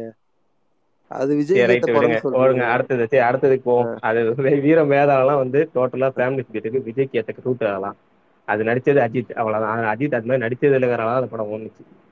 கமல் ஃபுல் கமர்ஷியல் பேக்கேஜா சரி அடுத்தது. இது ஐலாண்ட் நெருங்க நெருங்க நீங்க பாத்துட்டீங்க சொல்லுவீங்க. ஆட்டோமேட்டிக் ஹைப் கிரியேட் ஆச்சு. உங்களுக்கு கிரியேட் ஆச்சு அடுத்த ரிலீஸ் இருக்கிறப்ப பேசுவோம். அயலானுக்கு ஐப்பு இல்லைன்னா சொல்ல நீங்க ரொம்ப பில்டப்பா பேசுறீங்களே அந்த அளவுக்கு அந்த படம் இருக்குமான்னு பில்டப் தாங்க ஏத்துவோங்க. பிடிச்ச நடிகருக்கு ஏத்துவோம் அவ்வளவுதான். படம் நம்ம ப்ரோ கேள்விப்படுற விஷயங்கள் இருக்கு நம்ம இல்ல. நீங்க ஒண்ணு ஃபேமிலி ஆடியன்ஸ்லாம் பயங்கர ரெஸ்பான்ஸ் இருக்கும் பாருங்க ஐலாண்டுக்கு ஏன்னா அது குழந்தைங்க பாக்குற மாதிரி கொஞ்சம் இது இந்த பிரின்ஸுக்கும் அஞ்சு இல்ல இல்ல. அஞ்சு ஆறு படம் நான் சொல்றேன். இப்ப பிரின்ஸ் படம் ரிலீஸ்க்கு முன்னாடி நான் சொன்னேன் படம் எனக்கு எனக்கு ட்ரைலர் கூட பிடிக்கல. படம் ஓடாதுன்னு ட்வீட்டே போட்டிருந்தேன். ஏன்னா அது பிடி பிடிச்ச நடிகர் படமா தான் பார்க்க நல்லா இல்ல ட்ரைலர் நல்லா இல்ல ஒரு இம்ப்ரெஷன் இல்லைன்னு சொல்லி அதே மாதிரி உண்மை ரொம்ப பிடிச்சிருக்கு. ரேஸ்ல வர படம் பொறுத்தும் இருக்கு. ரெண்டுமே ரெண்டுமே இருக்கு. இந்த வருஷம் தீபாவளியே ஒரு மொக்க டேட் இந்த வருஷம் தீபாவளி ரொம்ப ரொம்ப கேவலமான டேட் ஓகேங்களா? தீபாவளி. அதை தாண்டி வந்து படம் நல்லா இருந்தா தான் ஓடும். கூட வர போட்டி நிறையா இருக்குன்னா ஏன்னா வருதா? ஜப்பான் வரும் வரும். கேப்டன் மில்லர் வராது. கேப்டன் மில்லர் வராது. ஜப்பான் வர வாய்ப்பு இருக்கா இல்லையான்னு தெரியல. ஜப்பான் வந்து முன்னாடி வரலாம் ஏன்னா ரெண்டு. ஏன்னா படம் கண்டிப்பா வரும். வேற ஆமா மூணுக்குலாம் தாங்காது. டேட் கிடையாது. மூணு படம் ரிலீஸ் டேட் ஒத்து கிடையாது. அது ரெண்டு படத்துக்கான டேட் தான் அது. அகைன் திருப்பி சிவகார்த்திகேயன் கார்த்திக் காம்போவான்னு பார்ப்போம் இல்ல தனுஷ் சிவகார்த்திகேயனான்னு பார்ப்போம் சரி பார்ப்போம் வரட்டும். சிவகார்த்தியன் கார்த்திகேயன் தான் எனக்கு ரொம்ப ஃபேவரட் ரெண்டு பிடிச்ச ஃபேவரட் ஒன்றா வந்து சந்தோஷப்பட்டு தீபாவளிக்கு. சரி சொல்லுங்க வேற யாரு? ஸ்பீக்கர் நோட் இப்போ பிஎஸ் ஒன்ல இருந்த மேஜிக் அந்த சாங்ஸோட மேஜிக் வந்து பிஎஸ் டூல மிஸ் ஆகுதுல்ல? அது கூட ஹைப் இப்போ ஓரளவுக்கு இருக்கா இருக்கலாம். ஏன்னா வந்து இப்போ இந்த பொன்னியதி காக்கன்மை வந்து ரிலீஸ்க்கு ஒரு நாலு நாளைக்கு முன்னாடி அதிகம் பிச்சுக்கிச்சு பயங்கரமா. தேட்டர்ல பக்கம் எல்லாம் சேர்ந்து கூட சேர்ந்து பாடினாங்க. இந்த பொன்னியதி காக்கன்மைங்கிறப்ப ஆமா. இஆர்எஸ் மாதிரி கோரஸா பாடினாங்க. கோரஸா அப்படி ஒரு மாஸ் சாங் அப்படி ஒரு மாஸ் சாங்கோ ஓப்பனிங் சாங்கோ இங்க எல்லா எல்லா அகநக கிளாஸ் ஃபுல் கிளாஸ் ஆனா எல்லாம் நல்லா இருக்கு. கிளாஸா இருக்கு கிளாஸ் ஆடியன்ஸ் நம்மளுக்கு கிடையாது. ஆனா கிளாஸ் ஆடியன்ஸ் மணிரத்னம் படம் மாதிரி எப்படி இந்த ஓகே கண்மணி தான் பாட்டு இருக்குமோ அது மாதிரி கிளாஸா போட்டாரு இந்த ஏன்னா ஃபர்ஸ்ட் பாட்டு கிட்ட ஆயிடுச்சுங்கிறாலே என்னமோ தெரியல. அவரு கொஞ்சம் பாட்டு கொஞ்சம் அமைதியாயிட்டாரு. பிஜிஎம்லயும் வந்து ஃபர்ஸ்ட் பாட்டு பிஜிஎம் தூக்கி போட்டாரு. இந்த புதுசா ட்ரை பா முழு படத்துல கொளுத்தி போட்டுருக்காருன்னு பார்ப்போம் ஆனா என்னன்னா கிளாஸா ரெண்டு சாங் நல்லா இருக்கு. அகனகனாட்டம் ராஜராஜ வீர ராஜ வீர ராஜாங்கிறத சூப்பரா இருக்கு சாங் கிளாஸா இருக்கு. ஓப்பனிங் நம்ம ஆடியன்ஸ்க்கு ஏற்ற சாங் இல்லைங்கிறது உண்மைதான். ஏன்னா ஒரு படத்துக்கு வந்து விஸ்டிங் கார்டே ஒன்று வந்து சாங் தாங்க. கரெக்ட் அது ஒரு வைரல் ஆக்குற மாதிரி ஒரு ஒரு பாட்டு இல்ல. அந்த ப்ரோமோ சாங் கூட எனக்கு அவ்வளவா சுத்தமாவே பிடிக்கல. எனக்கு சுத்தமாவே பிடிக்கல அது. ஸ்பேஸ்ல இது கார்த்தி ப்ரோ பாட விட்டா கண்டிப்பா அது ரீச் ஆயிரும்னு நினைக்கிறேன் ப்ரோ எனக்கு தெரிஞ்சு. ஏன்னா இப்போ நீங்க சொன்னீங்க பாத்தீங்களா அந்த ஃபர்ஸ்ட் கார்த்தி சாங்கு அது சொன்னோடனே எனக்கு கார்த்தி ப்ரோ ஞாபகம் தான் வந்தது. அவரு அந்த கோரஸ் பாடின அதுதான் ஞாபகம் வந்தது. ஸோ கண்டிப்பா நீங்க வேணா பாருங்க ஒரு நாள் பிரசாந்த் அவங்கள பாட வைக்கிற பாட பாட்டு ரிலீஸ் ஆகலையே. அவங்கள பாட வைக்கிற ஏதோ ஒரு பாட்டு எடுத்து பாட வைக்க வேண்டியதானே ப்ரோ ஆனா லிரிக்ஸ் ஞாபகம் வேணா பா- வரணுங்க லிரிக்ஸ் ஞாபகம் வரணுங்க. லிரிக்ஸ் ஃபுல்லா கர்நாடிக்ல போற மாதிரி போகுது கச்சேரி மாதிரி போகுது தஞ்சாவூர் நேத்து எதிர்பார்த்தேன் ப்ரோ ஆக்சுவலா நேத்து பிரசாந்த் ப்ரோ வந்து வந்தார்ல. நான் எதிர்பார்த்தேன். சரி நீங்க இருப்பீங்க. பாட வச்சிருவோம். நான் ட்வீட் போடலாம்னு நினைச்சேன். அதுக்குள்ள நேத்து பெரிய பிரச்சனையாகி முடிஞ்சு போச்சு ஸ்பேஸ் நேத்து பிரச்சனையா நல்ல வேலை வரல. சப்போஸ் நீங்க இருந்தீங்கன்னு வச்சுக்கோங்களேன் ஸ்பேஸ்ல நீங்க இருந்து பிரசாந்த் ப்ரோ கார்த்தி ப்ரோ எல்லாம் இருந்தாங்கன்னா ஏதாவது ஒரு பாட்டை சொல்லி அவங்கள பாட வச்சிருங்க ஓகேவா விடுங்க. அடுத்த அடுத்த இந்த டான்ஸோட வராம போயிடுவாங்க நாலு நாள்ல வராம போயிடுவாங்க வர என்ன ஒன்று பாடுறதுக்கு லிரிக்ஸ் இல்லையே? எல்லாரும் கர்நாடக சீசங்க சங்கமம் மாதிரி போதே. பிரதர் இன்னொரு கேள்வி. எந்த பாட்டும் செலக்ஷன் பண்ணி வைங்க வேணாம் ஆ, சொல்லுங்க பிரதர் நீங்க அப்பயே சொல்லிட்டு இருந்தீங்கல்ல. சுந்தரச்சோழன் வந்து நந்தினியை பார்த்ததே இல்லை இப்போ சரத்குமார் வந்துட்டு லைக் அவரோட எப்படி சொல்றது அந்த மினிஸ்ட்ரியில தானே இருக்காரு. ஆனாலும் அவர் பார்த்ததே இல்லையா? கதைப்படி. இல்ல உங்களுக்கு வந்து நீங்க பெரும்பாலான பாத்தீங்கன்னா வந்து நந்தினியை யாருமே பார்த்துக்க மாட்டாங்க அதான் புக்கில் இருக்கிறது ஏன்னா நந்தினி வந்து எப்படின்னா அந்த கடையன் தக்க பக்கத்தில் வர ஆப்பிள் இந்த மாதிரி ஒளிச்சு ஒளிச்சு வச்சிருப்பாங்க நந்தினி ஒரு அதுக்காக கார்த்தி முத முதல்ல பார்க்குறப்பே அந்த வந்தியத்தேவன் கேட்பது ஆஹா இவ்வளோ அழகா நான் வந்து வயிறை பொக்கி சீட்டே பார்த்துட்டேங்கிற மாதிரி. ஏன்னா பார்க்க அதே அந்த காலத்தில் வந்து பார்த்தீங்கன்னா ஒரு ராஜா வந்து ராஜாவோட மனைவியோ அரசரோட மனைவியோ தளபதி மனைவியோ யாரும் பார்த்துக்க மாட்டாங்க. பெரும்பாலும் ராணிங்கிறனால வேணா அவங்க வேணா மேலே ஏறி உட்காரலாமே தவிர ராஜாவானதுக்கு அப்புறம் தான் அவங்க மேலே ஏறி உட்காருவாங்க. அதுக்கு வரைக்கும் நம்ம ரொம்ப அமைதியாக உள்ளுக்குள்ளே தான் இருப்பாங்க. பெரும்பாலும் வெளியே காமிப்பாங்க அது தான் பெரும் அழகி இவர் ஒழித்து வைக்கிறார். பெரிய பந்து வைக்கிறாரு ஒழிச்சு ஒழிச்சு வைப்பார். இது அழகி நம்ம வயசானாலே ஒரு யாரும் நல்ல காட்டக்கூடாது. இந்த படத்தை பொறுத்த வரைக்கும் ஐஸ்வர்யா ராய் கேரக்டர் கொஞ்சம் நமக்கு வந்து கொஞ்சம் நமக்கு ஒரு ஐஸ்வர்யா ராய்னால கொஞ்சம் மிட் லெவலில் காமிக்கிறாங்க. ஒரிஜினல் புக்கில் பார்த்தீங்கன்னா ரொம்ப சின்ன பொண்ணு கல்யாணம் பண்ணியிருப்பாங்க. மிட் லெவலில் கம்பேர் பண்ணோம்னா நம்ம சின்ன பொண்ணு ரொம்ப அழகே கல்யாணம் பண்ணியிருப்பாங்க. அப்போ நம்ம கண்ணிலே காட்ட மாட்டார். ஒளிச்சு வச்சு பயம் ஒரு வயசான ஒரு ஒரு சின்ன பிள்ளைங்க கல்யாணம் பண்ணி எப்படி ஒளிச்சு வைப்பாரு? அதுதான் கான்செப்ட் ம் பிரகாஷ் பிஎஸ் இப்போ எந்த இடத்துல இன்ட்ரோல் வரும்னு நினைக்கிறீங்க? பிஎஸ் டூவில் எந்த இடத்துல இன்ட்ரோல் வரும்? அப்படி நான் அந்த பாயிண்ட் ஆஃப் யோசிக்கவே இல்லை. அதாவது கதை உங்களுக்கு நிறைய போகுது. இந்த இடத்துல இன்ட்ரெஸ்ட் வரும்னா இந்த ட்வின்ஸ் பேபிங்கிற இடத்துல லீக் ஆகும். ஒரு இடம் வந்து அந்த இடத்துல இன்ட்ரோல் வரும்னு நினைக்கிறேன். ரெட்ட குழந்தைகள் ரெட்ட குழந்தைகள் அதாவது குந்தவை வந்து எப்படி வந்து மதுராந்தகனோ இல்லை வந்து நந்தினியை எதிர்க்கிறாங்களோ அந்த இடத்துல சில நேரம் ஒரு அந்த இடத்துல மதுராந்தகனே அந்த மதுராந்தகனே அரச நாட்டை அவங்களும் ஒத்துக்குவாங்க. அந்த இடத்துல வேணா மதுராந்தகன் அரசராக ஏன் ஒத்துக்கிறாங்கிற இடத்துல ட்விஸ்ட் விடலாம் நியூட்ரல் விடலாங்கிற மாதிரி இருக்கலாங்கிறது கெஸ் இப்போதைக்கு நீங்க கேட்கணும் சொல்றேன். அது அந்த பாயிண்ட் ஆஃப் யோசிக்கல. அதாவது சோழ வாரிசு தான் நந்தினியோன்னு குந்தவைக்கு ஒரு டவுட் வரும். அப்ப ஸோ இவ்வளவு நாள் நம்ம தேவையில்லாம நந்தினி எதிர்த்துட்டோமே அப்படின்னு ஒரு மனம் திருந்தி இப்போ ரன் டைம் அந்த பாயிண்ட்டுக்கு வருவாங்க. இப்போ பிரகாஷ் இப்போ ரன் டைமே two hours forty four minutes தான் இருக்கு. இப்போ ஆல்ரெடி இருக்கிற ஸ்டோரி சொல்றதுக்கே அது சரியா போயிடும். இதுல மணிமேகலை கேரக்டர் எனக்கு தெரிஞ்சு தூக்கியிருப்பாங்க. தூக்குனாங்கன்னா நமக்கு ஒரு முக்கியமான சீன்லாம் கட் ஆகுது. அவ்வளோதான் வருத்தப்படலாமே தவிர நமக்கு வேற என்ன பண்ண முடியும்? அவ்வளோதான் புக்கு படிச்சுட்டு சொல்லி பா பார்க்கலாம் புக்கு படிச்சுட்டு பார்க்குற எல்லாருக்குமே ஒரு டிசப்பாயின்மெண்ட் தான் அது ஆக்சுவலி புக்கு படிக்காம பார்த்தா தான் ஆக்சுவலி பரவாயில்ல ஆக்சுவலா பொன்னியின் செல்வனுக்கு ஃபோர் டைப்ஸ் ஆஃப் ரிவ்யூஸ் இருக்கு. புக்கு படிச்சுட்டு பிடிச்சவங்க புக்கு படிச்சுட்டு பிடிக்காதவங்க. புக்கு படிக்காம பிடிச்சவங்க. புக்கு படிக்கல பிஎஸ் பிஎஸ்க்குன்ட்டு இல்லை ப்ரோ இப்போ ஹாலிவுட் மூவிஸ்லையும் அந்த புக்லேருந்து அடாப்ஷன் பண்ணுற எல்லாருமே புக்கு படிச்ச யாருக்குமே அந்த மூவி சாட்டிஸ்ஃபையே பண்ணாது எப்பவுமே. ஏன்னா நம்மளோட இமேஜினேஷன் நம்ம படிக்கும்போது நம்மளோட இமேஜினேஷன் வந்து பயங்கர கிரேட்டராக இருக்கும். அது அதை ஃபுல்ஃபில் பண்ணவே பண்ண முடியாது. சீரீஸே கஷ்டம். இது பண்றது. கேம் ஆஃப் த்ரோன்ஸே புக்கு அளவுக்கு சீரீஸ் கிடையாது ஆக்சுவலா அது எவ்வளவு பெரிய சீரீஸா இருந்தாலும். அது ஒன்றும் பண்ண முடியாது. ஆனா நீங்க பிஎஸ் ஒன் ஆடியன்ஸ் ரெஸ்பான்ஸ் பாத்தீங்கன்னா மெஜாரிட்டி புக் படிச்சவங்களுக்கு இந்த கேரக்டர் இவங்க தான் அப்படின்னு விஷுவலைஸ் பண்ணும்போது எனக்கு வந்து பிடிச்சிருச்சு. பார்க்கணும் அவ்வளவுதான். அதுதான் அவங்க எப்படி இருக்காங்கன்னு பார்க்கணும். அந்த ஒரு கான்செப்ட் தான் ஸோ அது நல்லா தான் பாசிட்டிவா தான் அந்த புக்கு படிக்கும்போது நந்தினின்ற கேரக்டர் ஐஸ்வர்யா ராய் மட்டும்தான் கரெக்டாக ஆப்டாக இருக்கும். இரண்டாயிரம் இரண்டாயிரம் ஐஸ்வர்யா ராய். கண்டு கொண்டிருந்த கொண்டிருந்த பெரிய ஐஸ்வர்யா ராய் தான் வந்து உங்களுக்கு ஆப்டா இருக்கும். இப்போ ஏஜ் நீங்க சொல்றது கரெக்ட் தான். ஆனா ஆனா அதுல அவர் கல்கி எழுதியிருக்கபடி அந்த நந்தினியோட அழகு வர்ணிக்கிறதுல உங்களுக்கு மைண்டுக்கு வந்து ஐஸ்வர்யா ராய் தான் வருவாங்க.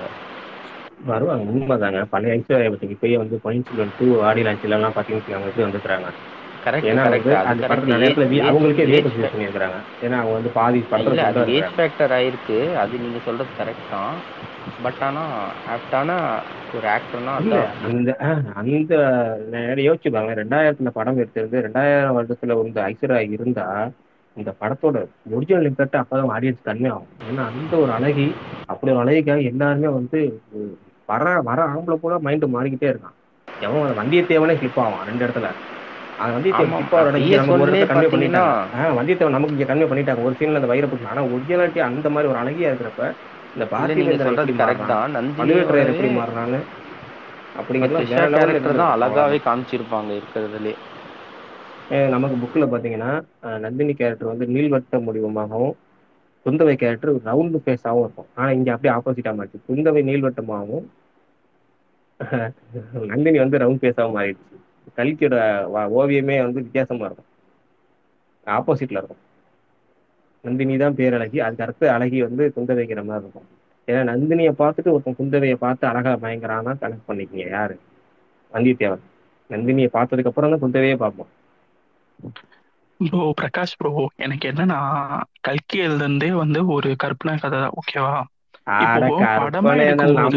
நமக்கு என்னன்னா புக்கு டு சினிமா டிரான்ஸ்லேஷன் ஆக நம்ம படிச்ச ஒரு சினிமா ஆகிறப்ப நமக்கு இன்ட்ரெஸ்ட் வரும்ல அவ்வளவுதாங்க எனக்கு என்னன்னா எல்லாருமே வந்து கம்ப்ளைண்ட் பண்றாங்களே இந்த மாதிரி கமர்ஷியலா இல்ல அப்படி இல்ல இப்படின்னு கம்ப்ளைண்ட் பண்ணும்போது எனக்கு என்ன தோணுச்சுன்னா இது வந்து ஒரு உண்மை சம்பவத்தை அப்படியே எடுத்திருந்தா ஓகே அவங்க உண்மை சம்பவத்தை அப்படியே எடுத்திருக்காங்க அப்படின்னு சொல்லிட்டு நம்ம ஒரு முட்டு கொடுக்கலாம் ஓகேவா இல்ல எதுக்குப்பா கமர்ஷியல்னு சொல்லிட்டு ஒரு முட்டு கொடுக்கலாம். இதுவே வந்து ஒரு கற்பனை கதை தான் அந்த கதையை நம்ம எடுத்து அது சினிமாக்கு ஏத்த மாதிரி அதை நல்லா மாத்தி இன்னும் கொஞ்சம் நல்லா பெருசா எடுத்திருக்கலாமோன்னு எனக்கு ஒரு சின்ன அஹ், ஒரு இது அஹ், இருந்தது ப்ரோ ஒரு இல்ல வேற என்ன இல்ல சொல்றது இல்ல கவலை உண்மைதான். இருந்தது. இப்ப என்னன்னா இல்ல இல்ல என்னன்னா நிஜத்தை எடுக்கிறத கஷ்டம். கற்பனை எடுக்கிறது ஈஸி தான். நீங்க சொல்ற பாயிண்ட் ஆஃப் கரெக்ட் தான். ஏன்னா நிஜத்தை எடுக்கும்போது இந்த அஹ், படம் கர்ணன்ல வருஷத்துக்கு தப்பா போட்டாங்க மாதிரி ஆயிரும். ஆனா வந்து கற்பனை சொல்ற மாதிரி நம்ம என்ன எடுக்கலாம். ஆனா மனிதத்துல என்ன சொல்றாருன்னா அவரு வந்து பொன்னியின் செல்வன் புக்கோட மிகப்பெரும் ரசிகர். அந்த புக்கை வந்து நான் கெடுக்க விரும்பலன்ட்டார். நான் புக்கு என்ன இருக்கோ அப்படியே ஸ்க்ரீன் பார்த்துட்டு கொண்டு வந்துட்டேன். அது என் பொறுப்பு அவ்வளவுதான். நான் எக்ஸ்ட்ரா இது பண்ணல. அதே மாதிரி இப்போ ஒரு புதுசா ஒரு பேட்டி கொடுத்தாரு. சில சீன்ஸ் மட்டும் அவர் சேர்த்திருக்கேன்னு சொல்லியிருக்காரு. சில சீன்ஸ் வந்து நான் பொன்னியின் செல்வன் டூல வந்து அது இது என்ன ப்ரோ இல்ல போங்கா இருக்கு? அதான் இன்னும் சில சீன்ஸ் சேர்த்துருக்கேன். அவர் எதுக்கு சேர்த்திருப்பாரு எனக்கு தெரிஞ்சு ரூம்ல கேரக்டர் சில சீன்ஸ் சேர்த்திருப்பாரு. அதே மாதிரி அவருக்கு. பிடிச்ச நடிகர்கள் நடிகர் அதாவது அவருக்கு ஒரு நடிகர் இருப்பாங்கல்ல அவங்களுக்கான சில சீன்ஸ் சேர்த்திருப்பாரு அவ்வளவுதான். வேற வேற லெவல்ல ஒரு நிமிஷம் உங்களை எக்ஸ்ட்ரா சேர்க்கறதுக்கான காட்சிகள் எதுவும் இருக்காது. இல்ல அவர் ஃபர்ஸ்ட் பார்ட் அப்பவே என்ன சொல்லியிருப்பாருன்னா அந்த போர் சீன்ஸ்லாம் என்னதான் அவன் ராஜாவா இருந்தாலும் அவனும் ஒரு மனுஷன் தான் எல்லாரையும் தூக்கி போட்டு அடிச்சிட்டு போக முடியாது. அதனால தான் நாங்கள் ரியலிஸ்டிக்காக எடுத்தோம்னு சொல்றாரு. ஆனா அது மூவியா நம்ம பார்க்கும்போது அது புக்ல படிக்க வேணா அப்படி இருக்கலாம். ஆனா மூவியா டிரான்ஸ்லேட் பண்ணும்போது அந்த ஆக்ஷன் சீக்வன்ஸ்லாம் போர் அடிக்குது பயங்கரமா. ப்ரோ இப்போ நம்ம நம்ம ரியல் சண்டே நம்ம பார்த்ததே இல்ல ப்ரோ ராஜா எப்படி போர் பண்ணாங்க? வீடியோவும் இல்ல. அது எப்படின்னு பார்த்தல நம்ம படத்தை பார்த்து தான் நம்ம வந்து நாலேஜ் வந்து ஓகேவா நம்ம நாலேஜ் நம்ம இது வரைக்கும் அந்த ஒரு ஹை மூமெண்ட்லாம் இருக்கும்ல நமக்கு ஆக்ஷன் சீக்வன்ஸ் பார்த்தாலே ஒரு கூஸ் பம்ப்ஸ் வரும்ல கரெக்ட் அது அதுதான் சொல்றேன். அந்த மாதிரி அது பண்ணல அவர். அவர் அதுக்கு தான் அந்த ஜஸ்டிஃபிகேஷன் கொடுத்தாரு. அதான் ப்ரோ இப்போ நம்ம அந்த காலத்துல ராஜா சண்டையெல்லாம் நம்ம பார்த்தது கிடையாது. படத்துல வரத வச்சுதான் நம்ம வந்து ஓகே இந்த காலத்துல இப்படி குதிரை சண்டை போட்டிருப்பானுங்க யானை சண்டை போட்டிருப்பானுங்க பார்த்தாதான் நம்மளுக்கே தெரியும். படத்தை பார்த்து தான் நம்ம கத்துக்கிறோம். ஓகேவா இந்த படத்துல வந்து இந்த மாதிரி லாஜிக்லாம் வந்து சொல்றது தப்பு ப்ரோ அவனும் ஒரு ராஜா தான் அவன் இப்படிதான் சண்டை போடணும் அப்படின்லாம் சொல்றது வந்து எனக்கு வந்து சிரிப்பா தான் இருந்தது. ஒரு ஜஸ்டிஃபிகேஷன் கொடுக்காமலே இருந்திருக்கலாம். இந்த ஜஸ்டிஃபிகேஷன் கொடுக்கறதுக்கு. ஆனா இல்ல மேஜர் அவர் வந்து பாகுபலி கம்பேர் அவர் அவர் பண்ணாலும் ஒரு வார்த்தை சொன்னாரு ஏன்னா பாகுபலிங்கிறது ஒரு கற்பனை கதாபாத்திரங்க. அப்படி ரியாலிட்டியில ஒரு மனுஷன் கிடையாது. ஆனா பொன்னியின் செல்வன் ரியாலிட்டி இருந்திருக்கான் ஒரு மனுஷன். ஒரு ராஜராஜ சோழனுங்கிற ஒரு மனுஷன் இருந்திருக்கான். ஒரு மனுஷன் வந்து ஆயிரம் பேத்த கொல்ற மாதிரி ஆயிரம் பேத்தோட சண்டை போடுற மாதிரி வீரர்கள் காமிக்க முடியாது ஒரு மனுஷன் தான் அவன் சாதாரண மனுஷன் தான். அவன் அப்படி இருக்க மாதிரி காமிக்க முடியாது அவன் நாலு பேர் கூட சண்டை போட முடியும் ஒரு வாரில். அந்த நாலு ப்ரோ கூட அவன் சண்டை போடுற மாதிரி காமிக்க ப்ரோ முடியும்ட்டாரு இல்ல ப்ரோ ஆயிரம் பேரை கொல்லணும்னு சொல்லல. அந்த ஆக்ஷன் சீக்வன்ஸ் உங்களுக்கு பார்க்கும்போது ரசிக்கும் தன்மையா அஹ் என்ன படம்? மகதீரான்னு ஒரு படம் ஒரு ஒரு இன்னொரு பேர்த்த கொல்லுவான்ல. அது இல்ல ப்ரோ அதான். ப்ரோ பாயிண்ட் முடியாது. அப்படி இல்ல ப்ரோ அது இல்ல இல்ல. ஆனா சினிமாங்கிறது கேளுங்க. அவ்வளவுதான். அவன் நூறு பேரை அடிக்கலாம் தேவையில்ல ப்ரோ ஒருத்தன் ஒருத்தங்கிட்ட சண்டை போடுறதே உங்களுக்கு பார்க்க வந்து சுவாரஸ்யமா இருக்கணும். உண்மைதான். அதுலயே வந்து அது இருக்கா? அதான் கேள்வி அவன் ஏன் நூறு பேரை அடிக்கல? ஆயிரம் பேர் இல்ல ப்ரோ அவன் நூறு பேரை அடிக்கல ஆயிரம் பேரை அடிக்கணும்னு யாரும் கேட்க கிடையாதுங்க அந்த ஆக்ஷன் சீக்வன்ஸ் பார்க்கும்போது நமக்கு சுவாரஸ்யமா இருக்கா? அதுதான் கேள்விங்க அவன் எத்தனை பேரை அடிக்கிறான்றதுலாம் கேள்வி கிடையாது யாரும். இவங்க இவங்க என்ன நினைக்கிறாங்க? எமோஷனல வந்து நம்ம கனெக்ட் ட்ரான்ஸ்ஃபர் பண்ணி கனெக்ட் பண்ணா போதும்னு நினைச்சிட்டாங்க. அந்த புக்ல உள்ள எமோஷனல் ட்ரான்ஸ்ஃபர் பண்ணா போதும்னு நினைச்சிட்டாங்க. அவ்வளவுதான். பிரம்மாண்டத்துக்கு அவங்க போகல. இப்போ பார்ட் டூல பார்ப்போம். பார்ட் டூல அவங்க மெட்டீரியல்லே எதுவும் இல்ல. அதனால அவங்க அதை டிரான்ஸ்லேட் பண்ணும்போது அங்க மிஸ் ஆயிடுச்சு. அதான் எனக்கு தோணுது. சோர்ஸ் மெட்டீரியல் அவங்க இந்த மாதிரி ஃபைட் நடந்துச்சுன்னு சொல்லிட்டு அவர் கடந்து போயிட்டே இருப்பாரு கல்கி இங்க வந்து அதை காமிக்கும் போது அவங்க அதை இது பண்ணிட்டாங்க. மிஸ் பண்ணிட்டாங்க. இன்னொரு மேஜர் மிஸ்ஸிங் எல்லாரும் லைக் எல்லாரும் மெஜாரிட்டி சொன்னது எப்படின்னா அந்த கூஸ் பம்ப்ஸ் வர மாதிரி ஒரு ரிப்பீட் வருது திருப்பி போட்டு பார்க்கலாம். அப்படின்ற அளவுக்கு லைக் பெருசா சொல்ற அளவுக்கு எனக்கு படல. இன்டர்வல் சீன் மட்டும் இருந்தது ப்ரோ விக்ரம் வந்து போவார்ல ஐஸ்வர்யா ராய் பார்க்க. அந்த வீட்டுக்குள்ள. அந்த ஒரு சீன் அவ்வளவுதான். இது மோர் ஆஃப் பொலிட்டிக்கல் ட்ராமா தான். ஒரு ஒரு வார் மூவியோ இல்ல அந்த டிராமால நம்ம மோஸ்ட்லி அந்த கூஸ் பம்ப்ஸ் எல்லாம் எதிர்பார்க்கவே முடியாது. பட் ஆனா அந்த ஒவ்வொரு சீனும் அவங்க டைம் எடுத்து ஒரு சீரீஸ் மாதிரி பண்ணா அதை இன்கார்பரேட் பண்ண முடியும். படத்துல அடுத்தடுத்த சீன் டக்குன்னு அந்த கூஸ் பம்ப்ஸ் வரக்கு கொஞ்ச நேரம் அந்த சீன்லயே ஓடணும்.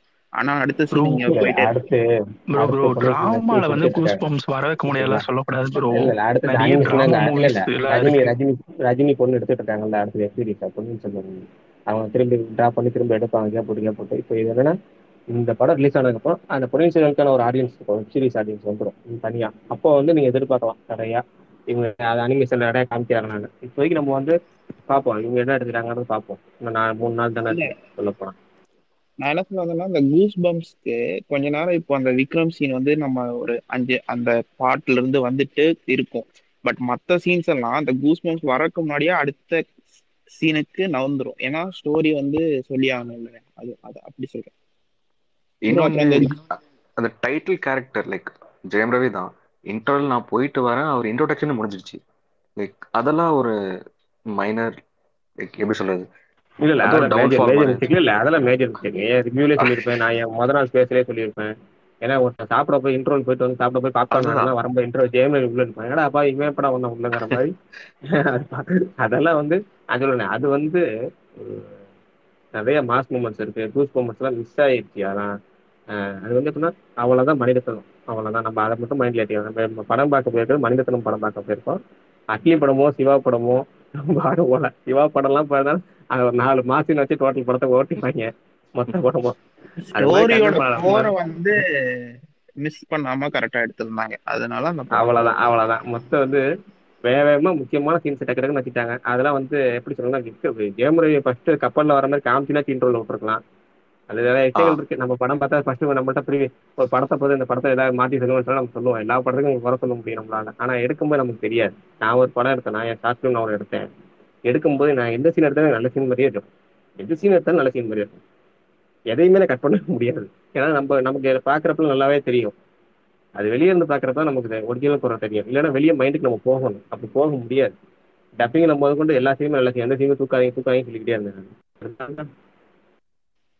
ப்ரோ எனக்கு ஒரு டவுட் பொன்னியின் செல்வன் இல்லது லா எபிக் ஃபார்மேட்டுக்கும் ஐமேக்ஸ்க்கும் என்ன வித்தியாசம்? இப்போ ரீசெண்டா இல்ல அந்த அந்த நாலேஜ் வந்து இங்க வந்து வெங்கட்ராமன் பிரதர் இருப்பாரு அவர் தான் தெரியும். நமக்கு இந்த சினிமா மட்டும் தான் நமக்கு தெரியும். அதுக்குள்ள அந்த டெக்னாலஜி லெவல்லாம் நமக்கு தெரியாது. அவர் வந்து தெரியும். நான் ஐயப்பன் கேட்போம். ஐயப்பன் தெரியுமா?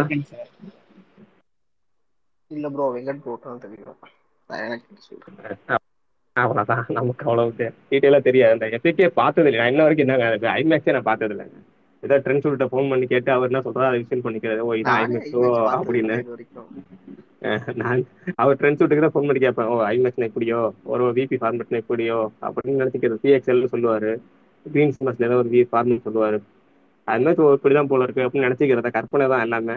நான் இன்னைக்கு நேர்ல எதுவுமே பார்த்தது இல்லை நான் ஐமேக்ஸ் ஒரே வாட்டி அவதாருக்கு போயிருக்கேன். ஆனா அந்த எபிக் ஃபார்மேட்னா புதுசா வந்திருக்கு இந்தியாவிலேயே ஃபர்ஸ்ட் அப்பலாம் சொல்றாங்க அதை தெரிஞ்சுக்கான்னு ஆல்ரெடி ஹைதராபாத்ல பிரபாஸோட பிரபாஸோட தேட்டர் ஒண்ணு பிக் தேட்டர்னு ஒண்ணு கட்டியிருந்தாரு. அதுல அந்த ஃபார்மெட் கொண்டு சூலூர்பேட்டை லார்ஜ் ஃபார்மெட் சூலூர்பேட்டையில இருக்குது எப்பிக்னு அது வந்து பிஎல்எஃப் ஃபார்மேட்னு சொல்லுவாங்க ப்ரோ ப்ரீமியம் லார்ஜ் ஃபார்மேட் அப்படின்னு அர்த்தம். அதாவது இந்த பீஸ்ட் படத்துல வந்த ஃபார்மெட் தான் பீஸ்ட் திருச்சிற்றம்பலம் பிரின்ஸ் எல்லாம் விட்டாங்களா அந்த அந்த கேமராமேன் வந்து மனோஜ் பரமஹம்சா வந்து பெரும்பாலும் அப்படிதான் எடுப்பாரு. இப்பயும் எனக்கு தெரியும் லியோ வந்து விஷுவல்லாம் தெரிக்கும் விஷுவல்லாம் பயங்கரமா தெரியும். ஏன்னா இருக்கையிலேயே வந்து அந்த ஃபார்மெட்டை பயன்படுத்தி கேமரா எனக்கு அது அது ஒண்ணு மட்டும் தெரியும். அந்த அதனாலதான் அவர் அந்த அது அதிகமான ஷாட்ல பிரின்ஸ் அப்படி வைப்பாரு பீஸ்ட் அப்படி வச்சிருக்காரு. பீஸ்ட்டை விட இந்த லியோல வந்து அந்த எக்ஸ்ட்ரா அதெல்லாம் பண்ணியிருக்காருன்னு கேள்விப்பட்டேன். பார்ப்போம் அந்த விஷுவலுக்காகவே அது காஷ்மீர் லொகேஷன்லாம் இருக்குல்ல அவருக்கு ஏற்ற களம். ஐமேக்ஸ்ன்றது டியூவல் ப்ரொஜெக்ஷன் இருக்கும். ப்ளஸ் ஐமேக்ஸ்ன்றது வேற ப்ரோ கம்ப்ளீட்டாக ஆடியோலேருந்து எல்லாமே எக்ஸ்பீரியன்ஸ் மாறும். பிஎல் எப்பிக்கும் ஐமேக்ஸும் கம்பேர் பண்ணுறது பார்த்தீங்கன்னா ஸ்க்ரீன் சைஸை வச்சு கம்பேர் பண்ணுவாங்க. மற்றபடி ரெண்டுமே டிஃப்ரெண்ட் தான். இப்போ இந்தியால எபிக் சரி ப்ரோ நார்மலா நார்மலா படம் பார்க்கறதுக்கும் ஐமேக்ஸ்ல படம் பார்க்கறதுக்கும் என்ன வித்தியாசம் இருக்கும் உங்களுக்கு? சொல்லுங்க. பார்த்தவங்க சொல்லுங்க. அது வந்து எல்லா படத்தையும் ஃபுல்லா சரி சரி சாரி சார் நீங்க பேசுங்க. இல்ல நான் வந்து அவதார் மட்டும் தான் பார்த்தேன். ஸ்க்ரீன் வந்து இந்த தேட்டர்ல நீங்க முன்னாடி ஃபுல்லா ஸ்க்ரீன் தான் இருக்கும். அந்த மேல இருக்கிறது சைடுல அந்த பக்கெட்ல தீ எக்ஸிட் தீ அந்த எதுவுமே தெரியாது. ஃபுல் அண்ட் ஃபுல் நீங்க படத்தை மட்டும் தான் எண்ட் டு எண்டு லெஃப்ட்லேயும் சரி ஹரிசாண்டலும் சரி எண்ட் டு எண்டு ஸ்க்ரீன் இருக்கும். உங்களுக்கு அந்த கண்டென்ட்டோட இது வந்து எக்ஸ்ட்ராவாக வரும் பிக்சர் இல்ல ப்ரோ சரி நான் இப்போ சொல்றேன். நீங்க யாராவது அது கவனிச்சிருக்கீங்களான்னு நீங்க பாருங்க. நெக்ஸ்ட் டைம் முடிஞ்சா பாருங்க. டெனன்ட்னு ஒரு படம் வந்திருக்குது தெரியுங்களா ஹாலிவுட்ல? கிறிஸ்டபர் நோலன் இருக்கு. அதுல சொல்லுங்க. நிறைய சீன்ஸ் பாத்தீங்க எனக்கு தெரிஞ்சது நான் சொல்றேன். மேபி நான் தப்பா கூட இருப்பேன் நிறைய சீன்ஸ் பாத்தீங்கன்னா ஃபுல் ஸ்க்ரீன்ல வரும். நீங்க அமேசான்ல பார்த்தாலும் சரி இல்ல எங்கேயாவது ஏற்றி பார்த்தாலும் சரி ஃபுல் ஸ்க்ரீன்ல வரும். டிவிலேயே போட்டிங்கனாலே. ஆனா ஒரு சில சீன் பாத்தீங்கன்னா அந்த அந்த சின்னதா வரும். அந்த ஃபுல் ஸ்க்ரீனாக வருது இல்லை ப்ரோ அது மட்டும் தான் ஐமேக்ஸ் ஆமா. அது மட்டும்தான் ஐமேக்ஸ் கேமரால மீதி ரெகுலர் ரெகுலரில் ஷூட் ரெகுலர்ல ஷூட் பண்ணப்பட்ட சீன்ஸ் இப்போ பொன்னியின் செல்வன்லாம் இன்ட்ரெஸ்ட் எல்லாரும் கூட அப்படி தான் இருக்கும். பொன்னியின் செல்வன்லாம் பாத்தீங்கன்னா வந்து கன்வெர்ட் பண்ணுவாங்க ஐமேக்ஸ் ஃபார்மேட்டுக்கு இப்போ பண்றாங்க. நிறைய படங்கள் ஐமேக்ஸ்ல பாக்குறாங்க மக்கள். ஸோ அதுக்காக நம்ம கன்வெர்ட் பண்ணுவோம் கன்வெர்ட் பண்ணுவோம் நீங்க அந்த படத்துல போயிட்டு ஐமேக்ஸ் எக்ஸ்பீரியன்ஸ் பண்ணணும்னு போய் உட்காந்தீங்கன்னா அதோட ஃபுல்லஸ்ட் பண்ண முடியாது. இதுதான் ஃபேக்ட் அதுதான் ப்ரோ இவங்களோட மார்க்கெட்டிங் ஸ்ட்ராட்டஜி நம்ம இந்தியன் மூவிஸ்க்கு எதுக்குமே ஐமேக்ஸ் சூட்டே கிடையாது. அவர் சொல்ற மாதிரி இது ஒரு மார்க்கெட்டிங் ஸ்டார்ட் எங்க படமும் ஐமேக்ஸ்ல ரிலீஸ் ஆகுது. எங்க படமும் நீங்க ட்ரிபிள் ஆர் தான் இதுக்கு கரெக்டான ஒரு இது எக்ஸாம்பிள் அது பார்த்தீங்கன்னா த்ரீ பண்ணாங்க. ப்ளஸ் ஐமேக்ஸ்லயும் ரிலீஸ் பண்ணாங்க ட்ரிபிள் ஆர் ஏன்னா ஃபாரின் ஓவர்சீஸில் பார்த்தீங்கன்னா நிறைய ஸ்க்ரீன்ஸ் வந்து ஐமேக்ஸ் இருக்கும். அதில் நீங்கள் பார்க்கணும் மக்கள் போகணுன்னா அது ஐமேக்ஸ்லயும் ரிலீஸ் ஆகும். இவ்வளவு தான் இதுதான் ஐமேக்ஸ் இதுக்கு தான் அவங்க இப்போ இந்தியன் மூவிஸ் நம்ம எல்லாமே எல்லாமே எடுக்கிறதுலாம் ஐமேக்ஸ் ஐமேக்ஸ்னு போடுறது வந்து அந்த ஒரு பிராண்டுக்காக தான். ஓவர்சீஸ் மார்க்கெட்டில் நிறைய ஸ்க்ரீன் ஐமேக்ஸ் இருக்கிறதுனால மக்கள் ஐமேக்ஸில் பார்க்கணும்னு நினைப்பாங்க. அவங்க ப்ரிஃபர் பண்ணுறவங்க அதில் பார்க்கணும்னு நினைப்பாங்க. ஸோ அங்க ரிலீஸே ஆகலைன்னா ப்ரோ ஐமேக்ஸ் வந்து ப்ரோ ஐமேக்ஸ் ஃபார்மட் மாத்துவாங்களா? ஆல்ரெடி எடுத்து ஐமேக்ஸ்ல மாத்துவாங்களா? எப்படி ப்ரோ இல்ல ஐமேக்ஸ்லயே வந்து ரெண்டுமே இருக்கு ப்ரோ ஐமேக்ஸ் ஷார்ட்டும் இருக்கு ஐமேக்ஸ் கன்வர்ஷனும் இருக்கு. இல்ல அதுதான் நான் சொன்னேன். டெனன்ட் படம் வந்து ஐமேக்ஸ் ஃபார்மேட்ல நோலான் நோலான் படங்கள் ஐமேக்ஸ் கேமரா வச்சு ஷூட் பண்ணுவார் ப்ரோ வெரி ஃபியூ டைரக்டர்ஸ் மட்டும் அது யூஸ் பண்ணுவாங்க அந்த அந்த ஃபார்மேட்ல படம் வரப்போகுதுன்னு பிளான் பண்ணி அதுக்கேத்த எந்த ஷாட் நோலனுமே பாத்தீங்கன்னா எல்லா ஷாட்லாம் வந்து ஐமேக்ஸ்ல இருக்கும். இம்பாக்ட்ஃபுல்லா இருக்க தேவையான ஷாட் அந்த மாதிரி தான் இருக்கும். அவ்வளவுதான் ப்ரோ ஐமேக்ஸ் வேற எதுவும் இல்லை. நீங்க ஓப்பனாவே சொல்றேன் நான் ஒரு தமிழ் படம் போயிருந்தேன் ஐமேக்ஸ்ல ஒண்ணுமே இருக்காது. பெரிய ஸ்கிரீன்ல பாக்குற மாதிரி இருக்கும். அவ்வளவுதான். மற்றபடி நீங்க ஆனா அவதார் போனீங்கன்னா அவதார்ல இருக்கிற சவுண்ட்ல இருந்து எல்லாமே மாறும். நீங்களே அது எக்ஸ்பீரியன்ஸ் பண்ணலாம். அது ஒரு எக்ஸ்பீரியன்ஸ் அவ்வளவுதான் முடிஞ்சிச்சு ஆனா அதுக்கு